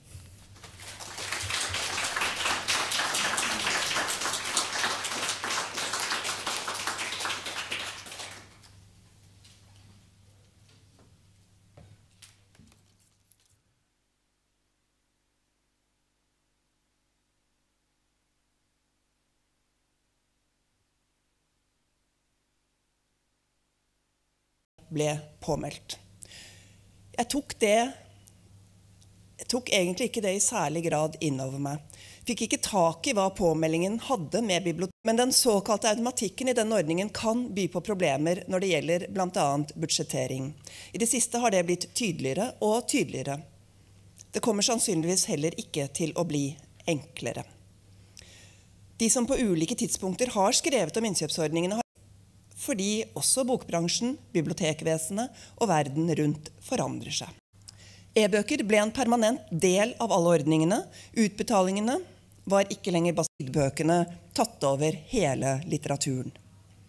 Det er uansett Bakgrunnen er at automatikken gir rask og forutsigbar distribusjon til bibliotekene, og dermed leser for budsjettramma når antallet titler som gis ut og meldes på, stadig øker, og det samtidig er et poeng at innkjøpsprosent litt. Historisk så har dette vært en strategi som langt på vei har fungert for den automatiske ordningen. Budsjettet bestemmer ikke hvor mange av bøkene som skal kjøpes inn årlig, men forlagene må ta inn over seg at det finnes et stort mangfold av utgivere, og at ikke alle varsler ingen økning i bevilgningene til Norsk kulturfond utover en pris- og lønnsjustering av de ulike ordningene. Jeg vet ikke om det er automatisk som det forstås i dag, som er det bærekraftige i alle. Alle gjennomgangene vil skje i dialog med organisasjonene i litteraturfeltet. Jeg tror ikke at uansett hvordan samfunnet forandrer seg, betyr det at det må sørge for, og jeg sier det igjen, at innretningene på beste mulig måte tilrettelegger for bredde for at bøkene alle utgivelser bare vokser. Ikke automatikk som gjør at antallet titler gjør at bibliotekene ikke har noen mulighet til å gjøre bøkene syke til flere lesere. Fordi språk og ulike typer litteratur betyr mye i et samfunn og for individene i det samfunnet. Og innkjøpsordningene er utvilsomt, objektivt sett, verdens beste litteraturpolitikk.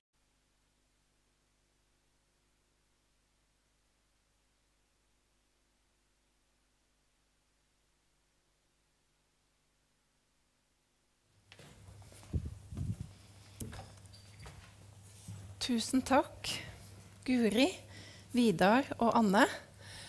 Eh, det er fascinerende å jobbe med å liksom dykke ned i litteraturpolitikkens eh, eh, virkemidler. Det er ingen tvil om det. Verdens beste, rett og slett. Og for oss som jobber i avdeling kulturanalyse, så har vi ansvar for å også fremskaffe kunnskap om virkemidlene på de andre kunstområdene. Og det er helt klart at den, disse ordningene skiller seg på vesentlige måter nettopp gjennom disse ulike måtene å ivareta hensyn på, som gjør de veldig interessante. Vi i avdeling kulturanalyse er ganske mangfoldige, vi òg. Jeg har lyst til å takke Melanie Filseth for eh, effektiv rengjøring.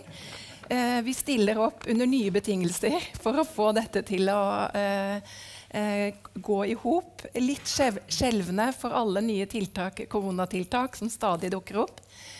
Men eh, nå skal vi over til eh, paneldebatten. Den skal også ledes av en, eh, en ny medarbeider i avdeling kulturanalyse, Håkon Bekeng Flemmen.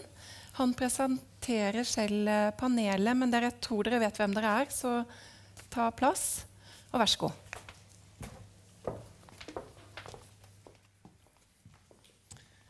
Tusen takk. Nå får vi se om panelet vet hvem de er. Det ser lovende ut.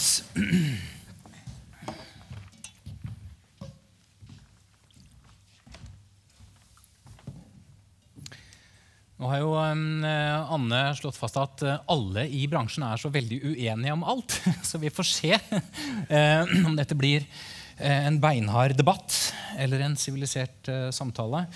Men i alle fall, hyggelig å, å, se dere. Og jeg føler sånn hyggelig å være tilbake på Litteraturhuset.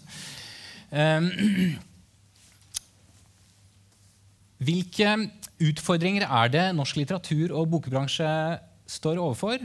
Eh, hvordan fungerer de litteraturpolitiske eh, virkemidlene? Hvordan kan innkjøpsordningene styrkes? Eller burde vi snakke om hvordan de kan reddes på sikt? Og ikke minst, hva mener forfattere og forleggere eh, om disse forslagene i utredningen vi har fått i dag? Det er eh, noen spørsmål vi skal forsøke å, å besvare ved hjelp av dette utmerkede panelet, som består av eh, Heidi Marie Krisnik, eh, Eistein Hansen, Arne Vestbø og Heidi Austli. Altså det vil si eh, NFFO, Forfatterforbundet, Forfatterforeningen og Forleggerforeningen. Så det er på det rene. Vi må nesten begynne med de litt større perspektivene. Norsk litteraturpolitikk har jo eh, oppstått som svar på store og truende utfordringer. Da det hele begynte på 60-tallet, så var man jo redd for at norsk litteratur skulle fortrenges av utenlandsk, les amerikansk litteratur og underholdning. Eh, den store kulturpanikken er det blitt kalt. Eh, Heidi, Jeg vet ikke om det er eh, panikk i dag, men hva, sett fra forleggernes side, hva vil du si er de store utfordringene litteraturpolitikken skal være et svar på? Ja, det vil jeg gjerne. Men først så har jeg lyst til å si at eh, som forlagsbransje da, så blir vi, vi ofte dritten i midten. Uh, og spesielt i disse tider. Uh, jeg har lyst til å benytte anledninga til å si at bibliotekene er viktig for å spre litteratur og for å øke lesinga. Forfatterne er kjempeviktig for å skape litteraturen. Og resten av detaljene skal vi nok klare å finne ut av. Eh, men så står vi jo i en situasjon nå der eh, alt er i bevegelse.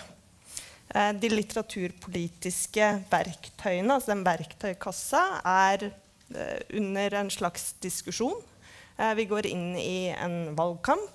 Men vi veit også at Norge er best i test når det gjelder utstyret i denne verktøykassa. Og det er det akkurat også en internasjonal rapport eh, som har vært med å si ganske mye om.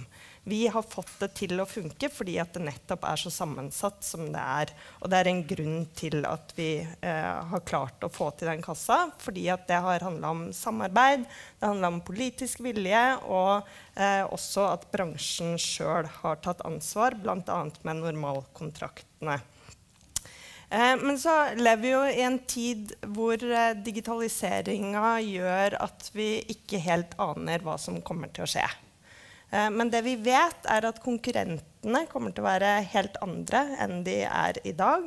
Vi vet at teknologiutviklinga går så enormt fort at eh, det vi i dag diskuterer, er antageligvis ganske gammelt i morgen. Eh, og, eh, men utgangspunktet må være at digitalisering er en gave for litteraturen. fordi det gir oss en mulighet til å spre litteratur på nye måter til nye grupper. Men hvordan er det, hvordan er det en utfordring for, eh, for uh, litteraturpolitikken? Jo, fordi det handler om hvilke rammebetingelser og ordninger er det vi trenger i denne tida. Eh, og så har jeg tenkt til å prøve å foreslå at kanskje skulle vi se på en innkjøpsordning som var mer formatuavhengig. Jeg ønsker meg også en spesiell styrking av barne- og ungdomsordninga. Og grunnen til det handler om at vi ser at lesetallene går ned. Bruksmønstrene er i endring også.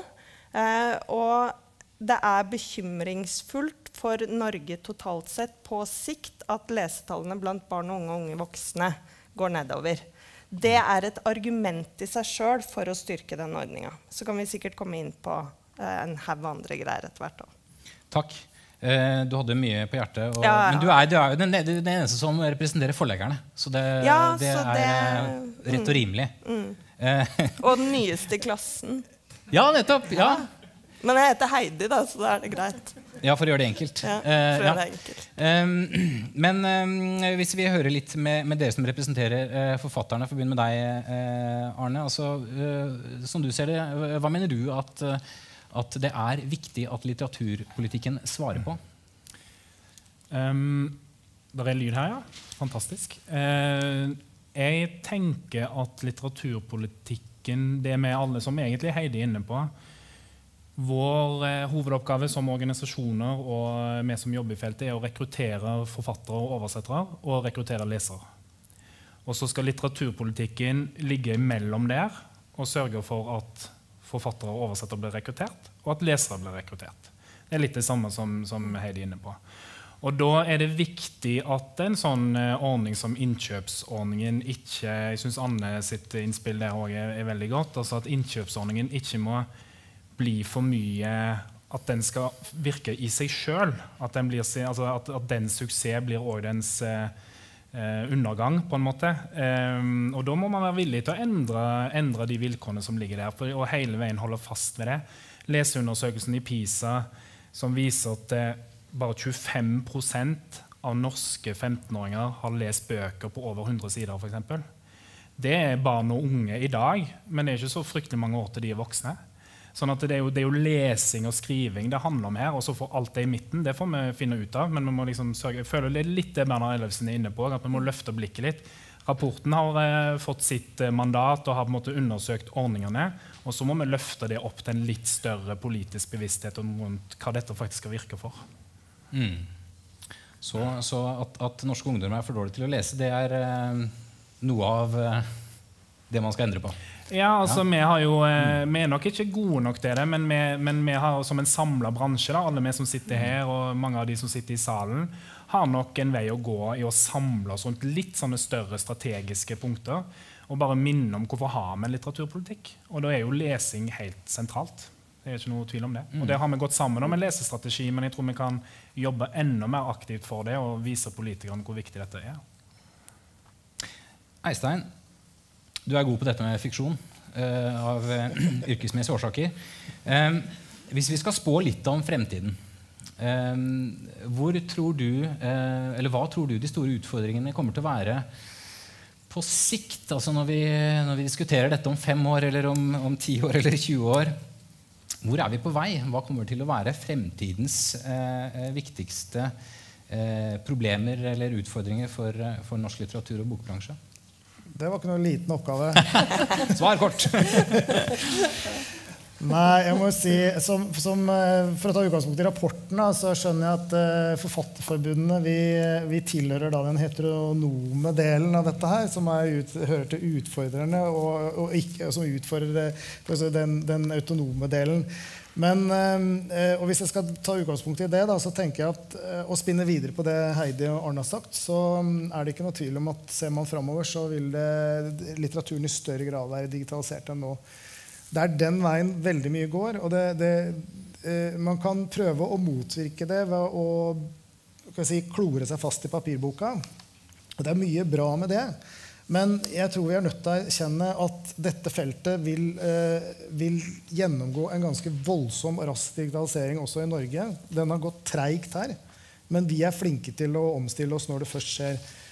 Koronasituasjonen kanskje gir en pekepinn på dette. fordi Der har man sett at det er veldig rask omstilling til mer konsum f.eks. av e-bøker. og dette kan, vi, er, vi har uh, høy kjøpekraft, vi er teknologisk langt framme i dette landet, her, så vi vil kunne adaptere dette her veldig raskt. Og da tror jeg at man vil se nye typer litteratur, rett og slett. Altså vil, da vil formatene og distribusjonsformene eh, legge til rette for at vi får andre måter å skrive på, andre måter å strukturere historier på. Eh, jeg har lenge sagt at strøm, altså strømbøker for lyd det påvirker også hvordan man skriver. Um, noen mener det er galt. Uh, jeg tenker at uh, det bør vi forholde oss til, og vi bør utnytte dette. fordi vi kan da kanskje nå andre uh, lyttere slash lesere. Og vi kan nå andre konsumenter av litteratur. Og i hvert fall når vi vet, som Arne helt korrekt påpeker, altså konkurrentene nå, det er jo strømmetjenester for TV-serier, og det er PlayStation. Og hvordan skal jeg få mine barn som er 12 og 16 år til å lese når de sier at det kommer bare kjedelig litteratur, og så vil de spille en ny runde Fortnite eller Fifa? Uh, han tolvåringen han, han, Når er det ny pinglebok, spør han. For det treffer han. Der er det visuelle elementer i tillegg. ikke sant? Så vi er, vi er nødt til å, å se at uh, vi går inn i et veldig bredt digitalt spor. Og vil, jeg tror det vil være den største delen om jeg vet ikke om fem år, men ti år. I så vil det være mer digital litteratur enn på papir. Mm.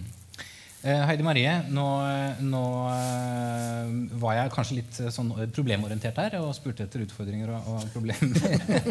altså, så jeg, kanskje jeg skal spørre deg om noe litt annet. Altså, hva vil du si er Hvis vi nå begynner å nærme oss litt av disse, disse konkrete ordningene, da, hva, hva, er det viktigste ved den, ved den særegne norske modellen på, på litteraturpolitikk som er mest verdifull sett med dine øyne? Det handler jo om at man regulerer bransjen. At man ser at uh, bokbransjen er noe annet enn salg av dagligvarer. At man skjønner liksom at uh, boka har en egen verdi. Og for å oppnå liksom, de måla, som er kvalitet, mangfold og bredde, så må man regulere. Uh, I et så lite land som Norge. Og det tenker jeg det fins jo Sånn sett så står det jo ganske bra til. Det fins et mangfold. Men jeg har jo lyst til å si noe om utfordringene likevel. fordi jeg syns skjønnlitterære forfattere snakker altfor lite om penger. Så jeg har lyst til å snakke om penger. Og, og jeg har lyst til å ta opp tråden med det digitale, for det syns jeg ikke har blitt sagt tydelig nok. at ja, det er bra at boka får nye flater. Det er bra at uh, en følger på og gir unger uh, og voksne uh, bok i alle mulige format. Men faren er jo da, hvis man vil ha et mangfold av forfattere, så er det færre som eh, tør å bli forfattere. Tørre, færre som tør å, å liksom, fortsette å være forfatter fordi økonomien i den digitale verden den er dårligere for skaperne. Eh, og det tenker jeg er veldig viktig å ha med seg i det bildet her. Da. Og også i forhold til mangfold så er det jo sånn at de tendensene en ser på musikk, de ser en jo også når det gjelder litteratur. At aldri har man kunnet lytte til så mye, men aldri har så mange lytta til så få. Og den digitale konsentrasjonen, det er en nøtt. Ja, da snakka jeg om utfordringer ja, ja, ja, ja. Så er det sånn at, at, at, du tenker at forfatterne klamrer seg til den tradisjonelle papirboka, selv om det egentlig Nei, nei. nei. Og hvis jeg sa det sånn, da har jeg misforstått. Okay. Fordi jeg mener virkelig at Forfattere vil jo være tilgjengelige i de eh, formatene som leserne vil ha. Men uh, de vil jo ikke gjøre det for enhver pris. Og i dag er det jo ikke en kollektiv avtale på strømming. Så sånn sett så er jo det helt uh, avgjørende for forfatterne. Mm. Så man mm. kan ikke liksom bare juble utviklinga hvis det gjør at forfatterne, de som hele liksom, bransjen hviler på, ikke får de penga de skal ha. Da. Ja. Mm, ja. Ok, vi, vi, må, vi, vi, må, nå begynne å komme inn på innkjøpsordningene. Eh, eh, Heidi, hvordan fungerer det i dag? Veldig bra. Ja. ja. Eh, både Ferdig? Skal vi se jo, neste spørsmål. Jo, men Det er jo en genial ordning. Ja. Mm. Men jeg, jeg, tenker jo at man putter altfor lite penger i den. Eh, eh fordi at eh, potensialet er så stort. Da, og den viser seg å ha så enormt god effekt både for å skape og spre. Eh, kanskje bedre effekt for å skape enn for å spre, men en automatisering som det jo eh, foreslås i bredere forstand nå, eh, vil også være med på eh, forhåpentligvis den spredningsmaksimeringa. Mm. Så mm. Eh, mm. ja, god. Og så er det detaljer i den og detaljer i de forslagene som eh, vi gjerne skal diskutere. Kategori to, sakprosaen, veldig glad for forslaget om styrking av den. Eh, jeg mener jo også at en styrking eh, av barne- og ungdomslitteraturen er samfunnsutfordring nummer én. Den kan vi løse. Og så må vi som er eh, bransjeorganisasjoner, være med å påvirke politisk til at det også puttes mer penger inn i denne ordningen. Den er billig og effektiv. Mm. Mm. Arne, nå er det mulig at jeg slår inn en uh, åpen dør her, altså. Men uh, utredningen foreslo da altså å automatisere alle ordningene. Mm. Uh, er, det, um, er, det, bare en god idé? ja, jeg tok det jo opp litt før i dag. Altså, hva mener man med automatikk? jeg tror at med de forbeholdene som ligger i det, så tror jeg så ja, jeg, jeg, skal lære meg å svare ja. Det er bare en god idé. Nei, men det er, jo, det, er jo, eh, det er jo et genialt virkemiddel. Men, eh, men eh, for sakprosafeltet som sådan, eller for sakprosaforfatter, så, så er det jo et uutnytta potensial. Altså det det er som Lars var inne på her også, at det er et samfunnsskole som ikke helt funker med bibliotekene. For eksempel, at, at de får ikke bøkene tidlig nok. Men jeg synes fra vårt perspektiv så er jo det, det er jo nesten, altså For oss så var det jo liksom en uh, lykke at Erika Fatlands uh, avslag kom i går. For da får vi så et utrolig godt poeng og viser fram en så etablert forfatter som selvfølgelig man må kunne tenke om man skal bygge et forfatterskap. altså det, Dette skal være ordninger som skal bidra til at hun kan bygge et forfatterskap. Og så får en av hennes mange bøker da, et et avslag. Altså, og, det, og, jeg har, full, jeg jobba lenge i Kulturrådet sjøl og har egentlig syns det er tull når man begynner å snakke om lotteri og tombola. Og sånn, for det er det jo ikke. Altså, det er jo et vurderingsutvalg som virkelig gjør en jobb, men de må jo velge blant veldig mange gode bøker. Og at noen da faller utenfor noen ganger og innenfor, det, det er totalt forståelig. Så jeg synes liksom det forutsigbarheten for forlagene, sant? Altså mm. det at man skal kunne gi ut bøker eh, og satse på det, men det å bygge forfatterskap det er liksom det helt sentrale som, som, som ikke gjør i dag. Det viser jo utredningen òg. Mm. At eh, de, de, de, liksom, de, forholder seg til det som en bonus. Eh, det fungerer ikke på den måten. Så med visse forbehold da, så tror jeg at vi må diskutere hva automatikk er, som òg nevner. Kanskje er ikke automatikk liksom, ja, vi må over 90% eller noe sånt, men liksom, hva må til for å skape den forutsigbarheten? Og så finner man en eller annen måte å balansere det inn på. Da må kanskje forlagene være medansvarlige. Vi må kanskje gjøre noen justeringer, sånn, men, men, automatikk med forbehold absolutt bare et gode. Mm. Men det kommer til å koste en del penger, dette her. Um, um, så, så vi, vi, vi, må snakke en del om uh, hvordan uh, disse innkjøpsordningene uh, skal, skal, skal, kunne fungere økonomisk. Um, altså Utredningen viser jo til det som flere har vært inne på, at uh, det er et veldig stort press på, uh, på ordningene i, i, dag. Det kommer stadig flere titler. Det uh, meldes på mer og mer, og budsjettene sprekker. Og her peker altså utredningen på dere. De som her må holde disse tallene nede, det er bransjen selv. Så forstår i hvert fall jeg en del av eh, det som eh, eh, forskerne skriver. Så nøkkelen er altså deres selvdisiplin, så å si. Um, jeg har liksom lyst til å spørre dere om det. Er det realistisk? Klarer dere å holde dere og deres medlemmer i skinnet? Jeg tror ikke, ja, tror ikke du kan få det. Ja. Ja, dette her er en eh, dette er kanskje egentlig en gordisk knute. Dette her, fordi at uh, alle vil jo når, når, denne rapporten foreslår automatiske ordninger rundt baut Ja, fint. Det vil jo alle ha. Men det, vi vet vel alle som sitter her, at det vil ikke komme så mye eh, ekstra penger at det er realistisk. Det vil På et eller annet vis så vil dette begeret renne over. Og det, det, er litt av utfordringen her. Det er en veldig vanskelig problemstilling å se for seg hvordan en, disse automatiske ordningene skal kunne fungere i det lange løp, når du ser at du får andre former for publiseringsløsninger, f.eks. hybrider, hvor forfatter og forlag tar litt delt risiko. Du har selvpublisister eller indie-forfattere. Men du også jeg tenker på småforlag som skal etablere seg. Da, og så skal de på en måte bygge opp en en redaksjonell kompetanse som gjør at de kan bringe fram nye forfattere. Slik det er nå, så har de bare ett år på seg i kategori to, og så skal de over i den automatiske ordningen. Jeg mener det er altfor kort tid. altså du, får ikke bygget opp et lite forlag på den tiden. De burde fått mye mer tid til å gjøre dette her. Så det er, det er, en del problemstillinger knyttet til at det er fritt. Man kan jo som forlag rett og slett da gå og rekvirere penger av statskassa til dette bokprosjektet. Så må du da noen betale tilbake. Kanskje klarer de ikke det, kanskje går de konk. Eh, men så lenge det er sånn, så kan jo egentlig alle gjøre det. Det er ikke noe som forhindrer Amazon Publishing i å lage et norsk forlag og delta i denne ordningen her. Så, så ditt svar er, nei? Det, det, det, er, jeg, jeg tror det er veldig vanskelig med at dette vil fungere selv, som en selvdisiplin over lang tid. Ja. Heidi Marie? Ja, jeg tenker jo at uh, ja, Det er mange ting jeg tenker. Først og fremst så tror jeg når det sies at jeg tror ikke det kommer mer penger Det er jo bare Årets stats, statsbudsjett viste jo det at hadde det ikke vært for de 50 millionene som kom nå for, uh, fra den tiltaks- eller stimuleringsordninga, så ville det jo vært uh, en katastrofe. Så bare nå liksom er det jo så vidt at kanskje forfatterhonorarene som ble kutta av, kan liksom reverseres. Så hvor kommer pengene, liksom? Det er jo det ene problemet. Men samtidig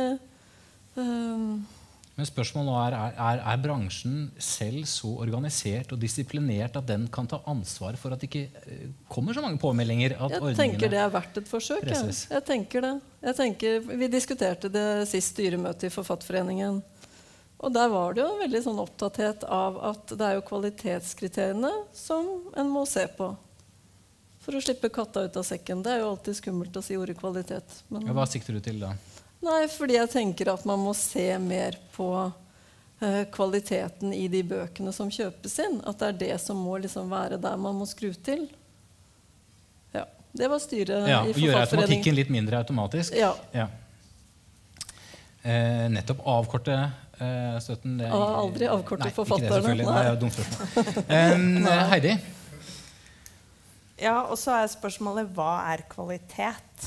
Og hva er ren underholdningslitteratur? Og hva er eh, den kvalitetsmessig riktige kulturen? Altså, dette er jo en, en, litt vanskelig debatt, kanskje også, men kanskje og stor.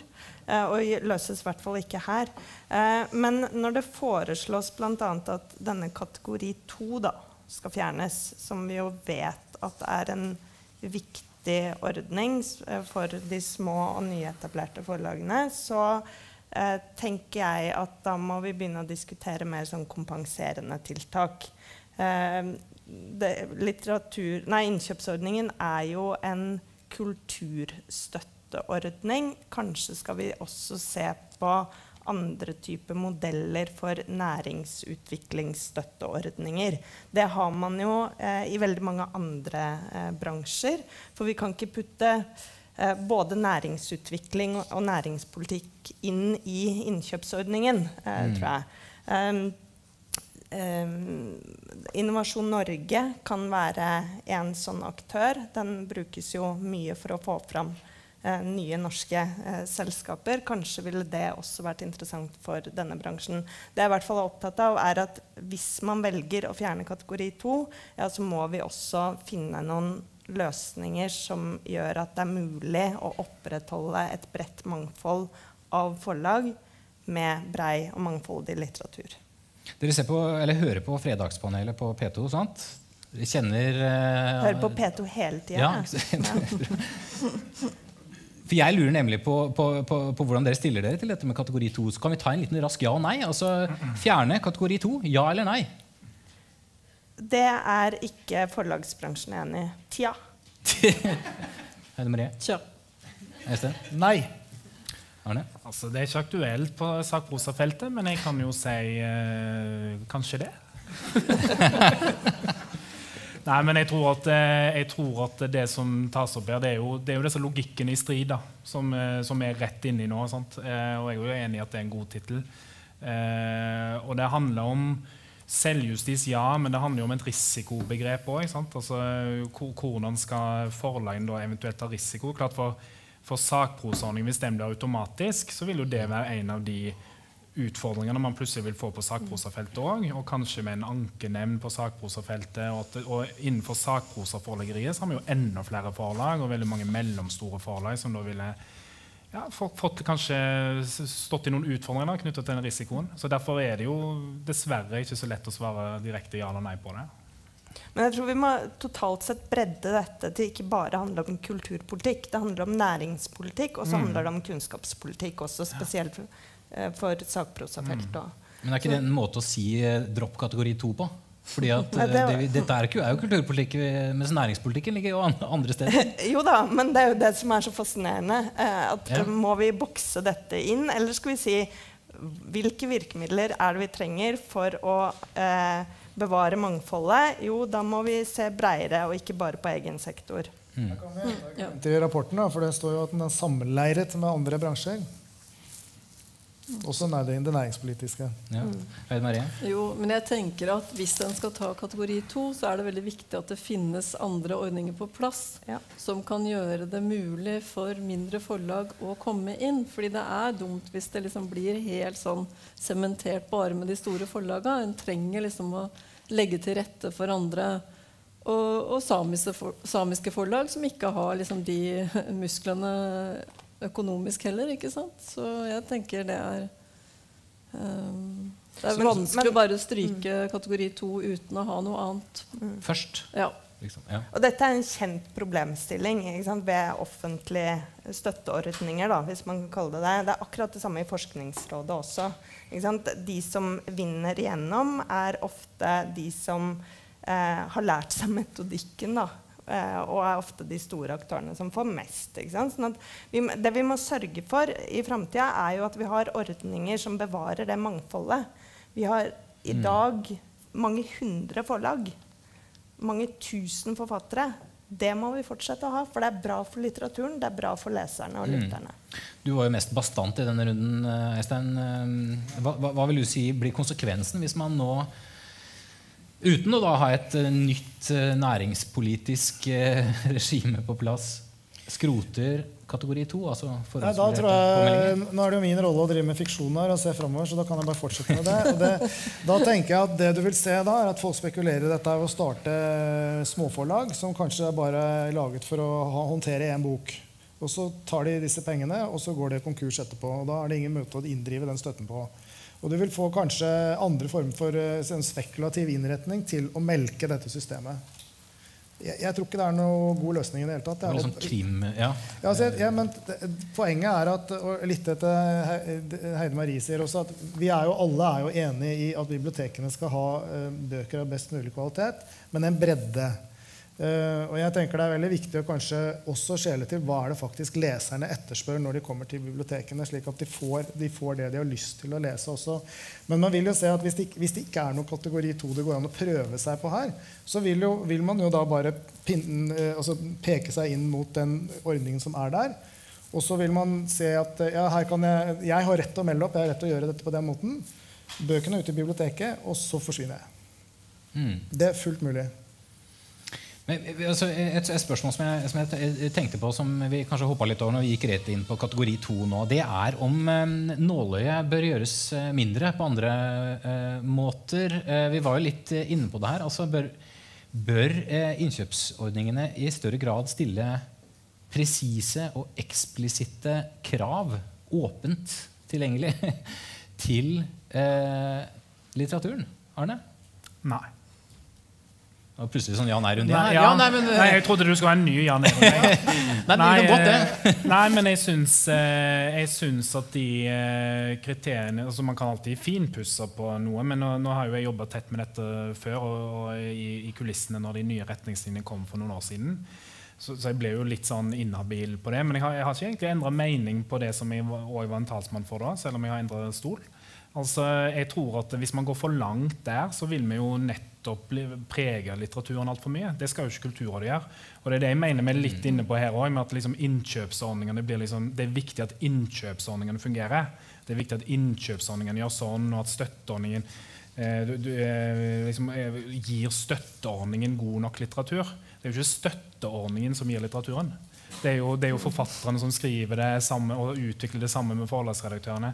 Og det er det jeg tenker litt med de logikkene som er inne på her òg. Derfor synes Jeg ikke jeg skjønner veldig godt poengene til Eistein for eksempel, med, med næringspolitikken. Men det er noe hvis alt skal puttes inn i én og samme ordning, så forvitrer jo det som er så genialt med den. Så det tror jeg også, men liksom jeg kan ikke forvente at eh, det skal være en sånn ekstra redaksjon som skal gi tydelige tilbakemeldinger på om en bok er bra nok eller ei. Sånn får det bare fungere. Altså. Det er jeg ganske sikker på er riktig. Hva mener medlemmene dine, det, Maria? Eh, Medlemmene mine det er, det er over 700, så jeg kan Eller ikke du, da. Ja, La oss ta deg. Styret i Forfatterforeningen. Vi har jo diskutert eh, det vi har fått tilgang til av rapporten. Og, og de har jo vært opptatt av at ikke de kriteriene skal lukke så mye. Sånn at liksom det påvirker inn, eller liksom ensretter innkjøpet. da. Men uh, som jeg sa i stad, at det som de mener, er at når man først skal begynne å skru på noe fordi det ikke er penger For å være realistisk da, i en ideell verden så hadde det vært fint om det var bare å kjøre på. Men sånn er det jo ikke.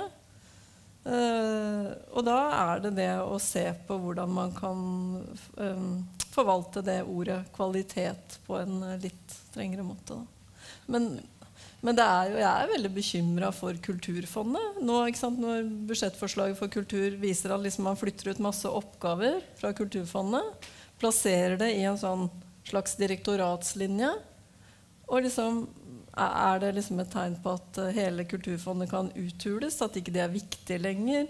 Fordi penger, makt følger penger, og pengene flyttes ut av Kulturfondet? Det bekymrer meg skikkelig. Og det, tenk, ja, sånn det tenker jeg også er et viktig krav. aspekt her. da. Ja, at, at, at mer eksplisitte og flere eh, slike krav, flere sjekklister, kommer til å, å eh, altså Det er en sånn slippery slope-fare ved det. At det blir mer og mer en sånn eh, Ja, det er jo- styrings... eh, Det er jo noe helt tenkning. annet å vurdere noe skjønnsfaglig enn å, å følge forvaltningsprinsipper, ikke sant? Uh, det er, uh, Kulturfondet er et armlengdes avstand-organ. Eh, så det er, og det er eh, Men jeg tenker liksom på at jeg er redd for eh, den standingen Kulturfondet vil ha i framtida. Og, og der ligger innkjøpsordningen. Og vi er liksom bare nødt til å hegne om Kulturfondet som Ja. Mm. Akkurat. ja. Mm. Det var kanskje å dra det litt Men jeg tenker det er Ja. viktig å si det da før tida er ute. Ja. Ja, så, ja. så du sier liksom ja, det, det, det kan være bra å stramme inn, men bare pass litt på. Ja. Um, ja, altså Over til noe, to, noe litt mer uh, hva skal jeg si, prosaisk. Vi har jo vært inne på det uh, så vidt. altså Vi hører uh, biblioteker som venter i månedsvis på å få disse titlene det står om i avisene og, og snakkes om eh, på TV, eh, før de til slutt får beskjed om at den ikke kjøpes inn eh, likevel. Eh, vi kunne lese i helgen at det tar eh, Dette er tall fra Kulturrådet. Jeg vet ikke akkurat eh, eh, hvor nye de er, men altså at det tar 79 dager for en skjønnlitterær bok å komme ut i bibliotekene. 105 dager for eh, sakprosa. Og 227 dager for bøker som er på, de, eh, altså på den såkalte ventelista. Da. Det er kanskje ikke eh, så mange. Eh, jeg, vet, jeg, jeg mistenker jo kanskje at, eh, at det er bøker fra dine medlemmer Arne, som eh, kanskje blir mest tydelig skadelidende. Uh, er, eh, eller hvilke konsekvenser får disse, disse forsinkelsene, dette tempoet, for, uh, for sakprosaen? Ja, det er jo, nå har Bernhard gått, altså nå kan vi jo tørre å bruke ordet legitimitet igjen. Det var jo, det var jo skummelt hva han la vekt på det. Eh, nei, men det, det er jo åpenbart, og det syns jeg skrives om i, i rapporten, sant, at ordningens legitimitet, spesielt på sakprosafeltet, hviler på bibliotekene og, og, og bruken i større grad, og argumentasjon rundt ytringsfrihet, demokrati, alt som vi kjører på med overfor politikere nå, er jo som hånd i hanske for sakprosen som sådan. Så det er selvfølgelig en eh, stor utfordring. Mange sakprosabøker som, som eh, bør komme ut raskere. Men så er det jo viktig her da, igjen at ikke ordningen skal bli seg sjøl nok. Altså, god litteratur skal, ha en skal ikke bare ha en aktualitet der og da. Så det er liksom noe med at de flesteparten av de gode sakprosabøkene må jo kunne vare lenger enn de to-tre månedene som, som det tar før den boka er ute. Så det er liksom også litt viktig at den ikke bikker for mye over den eh, logikken i, igjen. Så, så jeg vil si at eh, ja, selvfølgelig er det en utfordring, men igjen så vil ikke automatikken få det det, Skal vi kalle det for R-tall? R-tallet under 1? Heide Marie? Jo, Det er litt i forlengelse av det Arne sier. at Jeg syns det er helt nedslående når det, når det liksom ble uttalt her i stad at uh, bøkene er liksom ikke verdifulle lenger når de kommer fram. Eller hvordan det ble sagt. Samfunnsskole, tror jeg. Ja, men jeg syns det var veldig nedslående. fordi er det ett sted bøker ikke trenger å være ferskvare, så er det jo biblioteket. Og det er jo ikke sånn at en bok jeg har lest for ti år siden, ikke er mindre verdifull for meg når jeg går på biblioteket og vil låne den igjen. Så det liksom syns jeg blir så nedslående å tenke sånn om litteratur. Litteratur er ikke bare ferskvare. Litteratur har uh, verdi også den gamle litteraturen. Og det liksom, tenker jeg at uh, glemmes litt, uh, som det ble snakka om det mm. innledningsvis. Mm. Mm. Men hovedpoenget der var vel selvfølgelig at man kjøpte dobbelt. da, Og det går jo an å forstå at det er frustrerende. Men, ja, det er altså, men, men, jeg deler jo absolutt alt når det gjelder Så bibliotekene må jo ha mer penger ja. til innkjøp. Ikke sant. Ja. Det som var poenget mitt, da, det er at uh, bibliotekene kjøper jo mer, så vidt jeg skjønner, i hvert fall, kjøper mer litteratur direkte enn de gjør kjøper over innkjøpsordningen. Hvert fall, fikk, hørte jeg det på Deichmanske ved et foredrag. Men jeg tenker at det er jo ikke eh, Hvis det er slik at eh, Det er dumt at dette ikke går an å løse logistisk, men jeg har ikke, jeg har ikke noen sånn umiddelbar løsning på det. så ærlig må jeg være, Men det beste var jo være at bøkene kommer raskt ut. Men det, det kan ikke være noe problem heller for forfattere eller forlag at eh, helt uavhengig av utgivelsesform, da, at bibliotekene kjøper direkte fordi de vil ha noe raskt. Det viktige er jo at bøkene kommer ut dit. Da kan man jo heller se på å styrke bibliotekenes budsjetter for å kjøpe ting direkte. Da. Hvis dette her andre er et distribusjonsproblem, så vet man at man får noe først, og så får man mer senere. Det må jo være en grei løsning. Ja, Med den faren eh, da for at de ender opp med eh, dobbelt opp eller for mye Som forfatter er det aldri noe problem med at det er for mange bøker der ute. Men neppe et problem for leserne heller. Altså, jeg er jo overbevist om at bibliotekene vil eh, få en viktigere og viktigere rolle da, eh, framover. Enten som fysiske lokasjoner eller også digitalt. Og mm. bibliotekar. Mm. Så la oss styrke både innkjøpsordninga, bibliotekene og generelt sett hele kulturfeltet. ja, ja. Ja, gå fra krisemodus og over i en sånn eh, permanent styrking. Det er bra at Ellefsen har gått. ja, det er veldig bra. Det er veldig bra. ja. uh, men, jo, men det er et eller annet med at det, det, er jo vår oppgave som bransjeorganisasjoner å ikke gi opp akkurat det. Mm. Det er mulig at jeg er litt uh, naiv, eller det mora mi kaller naiv. Det var ikke verre. uh, men, men, det er jo Litteratur har en større betydning enn bare kroner og øre innafor et budsjettår. Eh, vi har noen abnorme samfunnsutfordringer eh, framover. Bl.a. på lesing.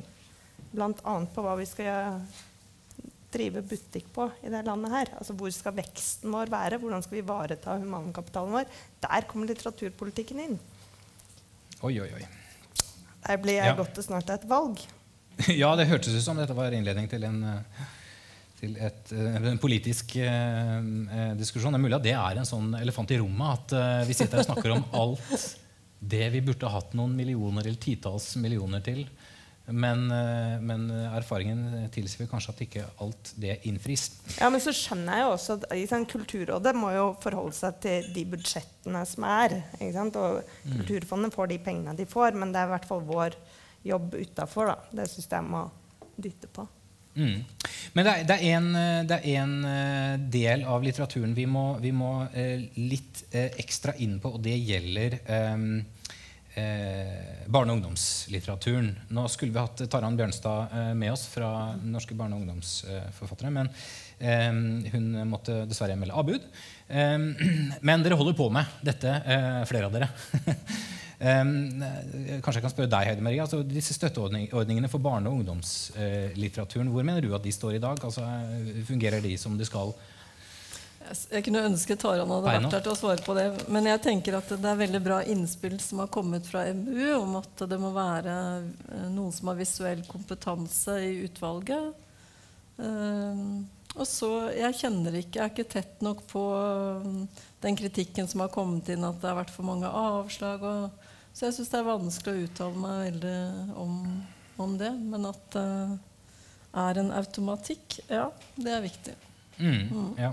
Vi skal ikke gå inn på enkelte avslag, eh, kanskje. Men, eh, men som Guri Fjellberg eh, var inne på her eh, i dette videoinnlegget, så blir det jo hevdet av enkelte at, eh, at barnelitteraturen er for lite gjennomarbeida av redaktører og eh, forfattere og forlag. Em, og at det dermed er en form for litteratur som trenger større press på kvaliteten. Eh, Jeg får spørre deg, da, Heidi, som, som, som, som stå, eh, representerer eh, forleggerne. Kjenner du deg igjen i, den, i det omkvedet? Er barne, og, særlig barnelitteraturen for lite redaksjonelt kvalitetssikra? Du kan bare si nei, da. Nei, men uh... Nei, nei. Men jeg syns at barne- og ungdomslitteratur fortjener en uh, større plass. Uh, og igjen da, tilbake til disse lesetallene. Jeg er kjempebekymra for det. Og også fordi at um, vi veit at unger leser mindre og mindre. Vi har Det fokus som- er på det, er veldig knytta til leseferdigheter. Mindre på leselyst og lesemotivasjon. Eh, vi trenger å lese mer for unger, og vi trenger at unger leser mer selv. Det er gjort noen gode tiltak på det. En, eh, I Danmark og Sverige nå har de laga kjempegode lesestrategier. Eh, og putta masse penger inn i det også. I Sverige 200 millioner svenske kroner. Eh, og det er klart at det trenger vi. Vi trenger å gjøre et solid leseløft også i Norge. Og da er innkjøpsordningen en del av det. Jeg tror vurderingskomiteene eh, er antageligvis gjenstand for en slags kompetansesammensettingsdiskusjon også. Men jeg har ikke lyst til å liksom si at barne- og ungdomslitteraturen er dårlig. Det er jo ikke det. Den, men den kan sikkert bli mer mangfoldig, den òg, som alt annet. mm, ja. Alt kan, jo, alt kan jo bli bedre, det kan vi sikkert være enige om. Men det, det, det jeg syns er uh, viktig her, det er at uh, nettopp fordi, som alle her vel har, eh, har nevnt uh, individuelt, er at det er et problem å ha, sørge for at den oppvoksende organ- eh, generasjonen leser nok. De leser mindre og mindre, og de driver med andre ting. Så lærer de kanskje noe annet når de gjør det, men likevel så er det jo, de må lese. Det er vi enige om, og det er viktig. Og da, eh, Hvis det da er slik at eh, de, eh, man er veldig opptatt av noen kvalitetskriterier som egentlig ikke er det viktigste nå, men det viktigste er at det faktisk kommer bøker ut i bibliotekene som er slik at alle barn kan finne noe der å lese. Det tror jeg er det noe av det aller viktigste vi kan gjøre. og sørge for at det skjer. Jeg har ikke noen forklaring på hvorfor det er lavere innkjøpsprosent på barne- og ungdomslitteratur enn på voksenskjønn. Det må man spørre disse innkjøpskomiteene om. Men det er litt rart at det er det, for hvorfor skal det egentlig være en forskjell? Jeg tror Begge, begge sektorer i, på litteraturfeltet er jo like profesjonaliserte. Så det er en litt sånn underlig skjevhet i dette her. Ja, jeg, har er der- jeg har ikke noen forklaring på det. Det er jo der denne teorien om at det er, at det er for mye varierende kvalitet som kommer inn, da, kanskje som et mulig svar på det. Ja, det kan, men, altså, men uansett, da, sørg for at det er noe lesende her for barna som de har lyst til å lese. Arne? Ja, For å følge opp det, så er jo dette er jo altså Sakprosa for barn og unge er jo, er jo den sjangeren der er desidert færrest påmeldinger på hvert år. Og det er en ordning som tilsynelatende ruller og går greit. Hvis du ser på innkjøpsprosenten, fordi den er liksom omtrent rundt 50 den, og det er jo greit nok, og så kan man bygge den videre, men den er ikke så langt fra en form for automatikk. Men, eh, men eh, problemet der Jeg snakket innledningsvis om å rekruttere forfattere og rekruttere lesere. Og det du Eistein, snakker om nå, er jo liksom lesere. Det vi vet, ok, Unge gutter fra 10 til 15 er der vi mister leserne. Hva er det de vil lese? Jo, i stor grad sakprosa. Og ikke sakprosa i form av lærebøkene på skolen, men den fritidslesingen der som de kan lese om andre temaer i, i, i sakprosaen. Vi har et problem og en utfordring med at våre medlemmer er på rekrutteringen. De andre sjangerne tror jeg ikke vi kan snakke om et rekrutteringsproblem, fordi vi ser jo at uh, ordningene blir uh, massivt uh, påmeldt med mange nye bøker. Men sakprosa for barn og unge der har vi faktisk et rekrutteringsproblem. Mm. Og Det var jo noe av grunnen til at Kulturrådet innførte en produksjonsstøtteordning for sakprosa for barn og unge, som har hjulpet litt, men ting tar tid. Og vi kjører egne prosjekter i vår forening. Vi, vil, vi, tenker at veldig mange av våre forfattere som skriver om en bråte av varierte emner, vi må prøve å få de til å henvende seg til et barn- og unge-publikum med akkurat det samme. Vi får de liksom ikke helt i gang, men vi har en del tiltak der som vi vil, eh, som vi vil eh, ja, fortsette med. Så Sakprosa barn og unge er liksom en egen utfordring her som egentlig vi kunne ha snakka i flere timer om bare den. Det må bli en annen gang. Eller folk kan bli igjen etterpå. ja, det kan snakkes. Dette er kanskje siste gang vi er sånn ja, På en god stund. sånn, kan kjenne på følelsen av å være i et rom.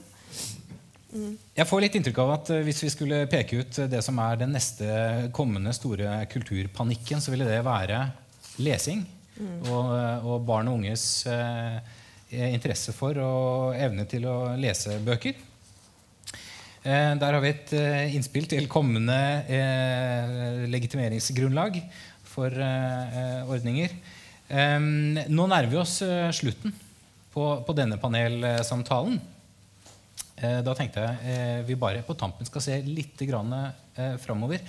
Det vi har fått i dag, er jo en utredning. Det er ikke et ferdig saldert kulturbudsjett med parlamentarisk flertall.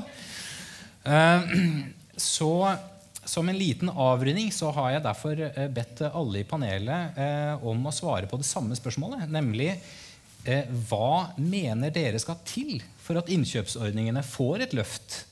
Og hvordan vil dere jobbe for at det skal skje? Vi, bare, vi begynner rett og slett i, i den. Skal vi ikke begynne der nå? Siden du insisterer. Arne. Ja. Tusen takk, eh, Heidi. Ja. Nei, eh, du, vi skulle være veldig korte. Jeg tror eh, to ting. Det åpenbare, som jo er vår jobb.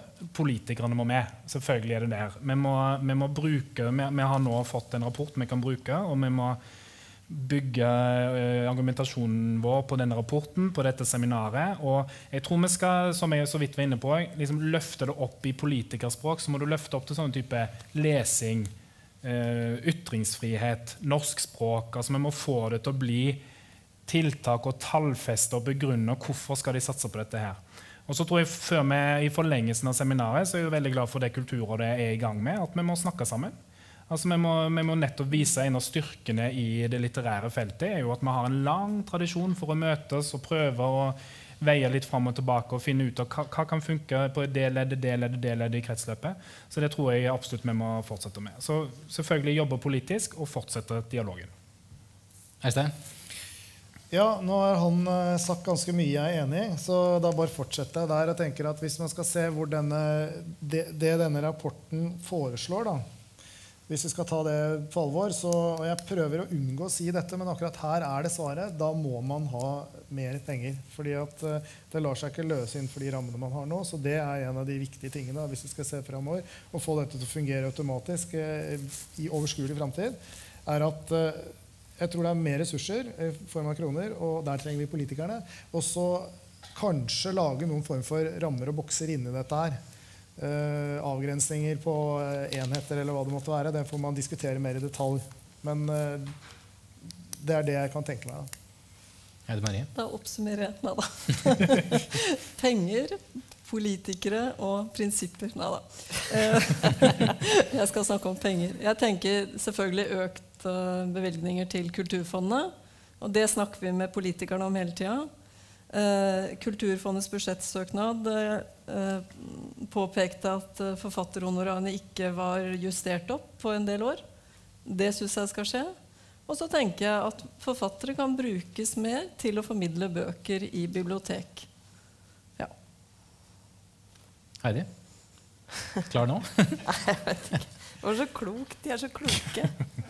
Uh, nei, men det, det handler om å fortsette å jobbe beinhardt for å styrke litteraturens plass og hele økosystemet bak. Det er primært en politisk jobb. Eh, I hvert fall for min del. Eh, og så skal vi snakke sammen om alle ting. vi skal finne ut av det. Bra. Tusen takk, da. For, eh, for disse, disse, avslutningsvise eh, eh, tankene og vyene. Um, da takker vi for oss.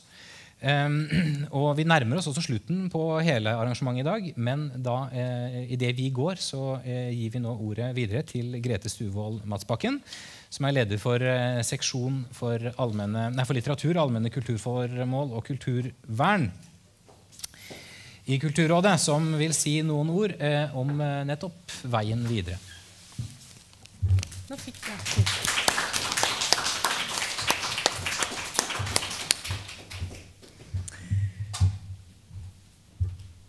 Tusen takk eh, til alle dere som har bidratt her i dag. Dere som har lagt fram, kommentert, kommet med innspill, stilt spørsmål og ikke minst diskutert nå på slutten. Og så må vi rette en litt ekstra takk til Øyvind Prytz, som jobber i Kulturrådet, som har fulgt dette arbeidet med utredningen gjennom en del år allerede, og som har vært primus motor for dette seminaret i dag. Og For dere som har lest utredningen, og som er litt glade i å tolke, og har fulgt med i dag, så ikke legg for mye i det at det nå er forvaltningen, altså representert ved meg, som får siste ordet eh, før vi går fra hverandre. Men Logikk i strid det er en utredning vi i Kulturrådet og mange med oss har ventet spent på. Eh, og det er knyttet ganske store forventninger til oppfølgingen av innholdet som kommer fram med denne utredningen. Og I de siste årene så har det vært sånn at stort sett alle innspill eller endringsforslag som vi har fått inn eller tenkt på, det har vi lagt på vent med henvisning til nettopp denne utredningen og en eventuelt større gjennomgang av alle ordningene. Så med denne utredningen 'Logikker i strid' så har vi nå et veldig godt kunnskapsgrunnlag uh, som vi har med oss i dette videre arbeidet. Vi leser den ikke som en oppskrift, um, men den har, gir oss ganske mange interessante anbefalinger den løfter noen veldig viktige problemstillinger, og så er den et godt utgangspunkt for det videre arbeidet. Så hva skjer nå? Nå er det naturlig å se på alle ordningene til Kulturrådet på litteraturfeltet. Og vurdere om det skal gjøres endringer eller justeringer, små eller store. I det arbeidet blir det veldig viktig å se alle ordningene i sammenheng. Eh, se på de overordnede målsetningene, se på treffsikkerheten til ordningene. Altså ha et blikk for helheten av disse virkemidlene og hvordan disse ordningene fungerer sammen. Men vi går likevel ikke gjennom alle ordningene helt samtidig. Arbeidet med innkjøpsordningen for skjønnlitteratur er allerede ganske godt i gang, vil jeg si. Ehm, og der er det et mål å ha en robust ordning som vil fungere i hvert fall noen år frem i tid. Ehm, på kort sikt, altså fra nyttår, som Anne var inne på i stad. Og så blir det et arbeid med sakprosaordningene gjennom vinteren, ser vi for oss. Og så tar vi for oss de øvrige innkjøpsordningene og de andre ordningene på litteraturfeltet fram mot sommeren 2021. Og da blir det jo selvfølgelig viktig å se på Kulturrådets rolle, sammenhengene mellom ordningene, som sagt, hvordan de virker sammen med andre ordninger på litteraturfeltet og litteraturpolitiske virkemidler. Eh, ja. Så helt til slutt, til alle fremmøtte i salen og som har vært med oss på skjerm. Takk for i dag. Fortsettelse følger.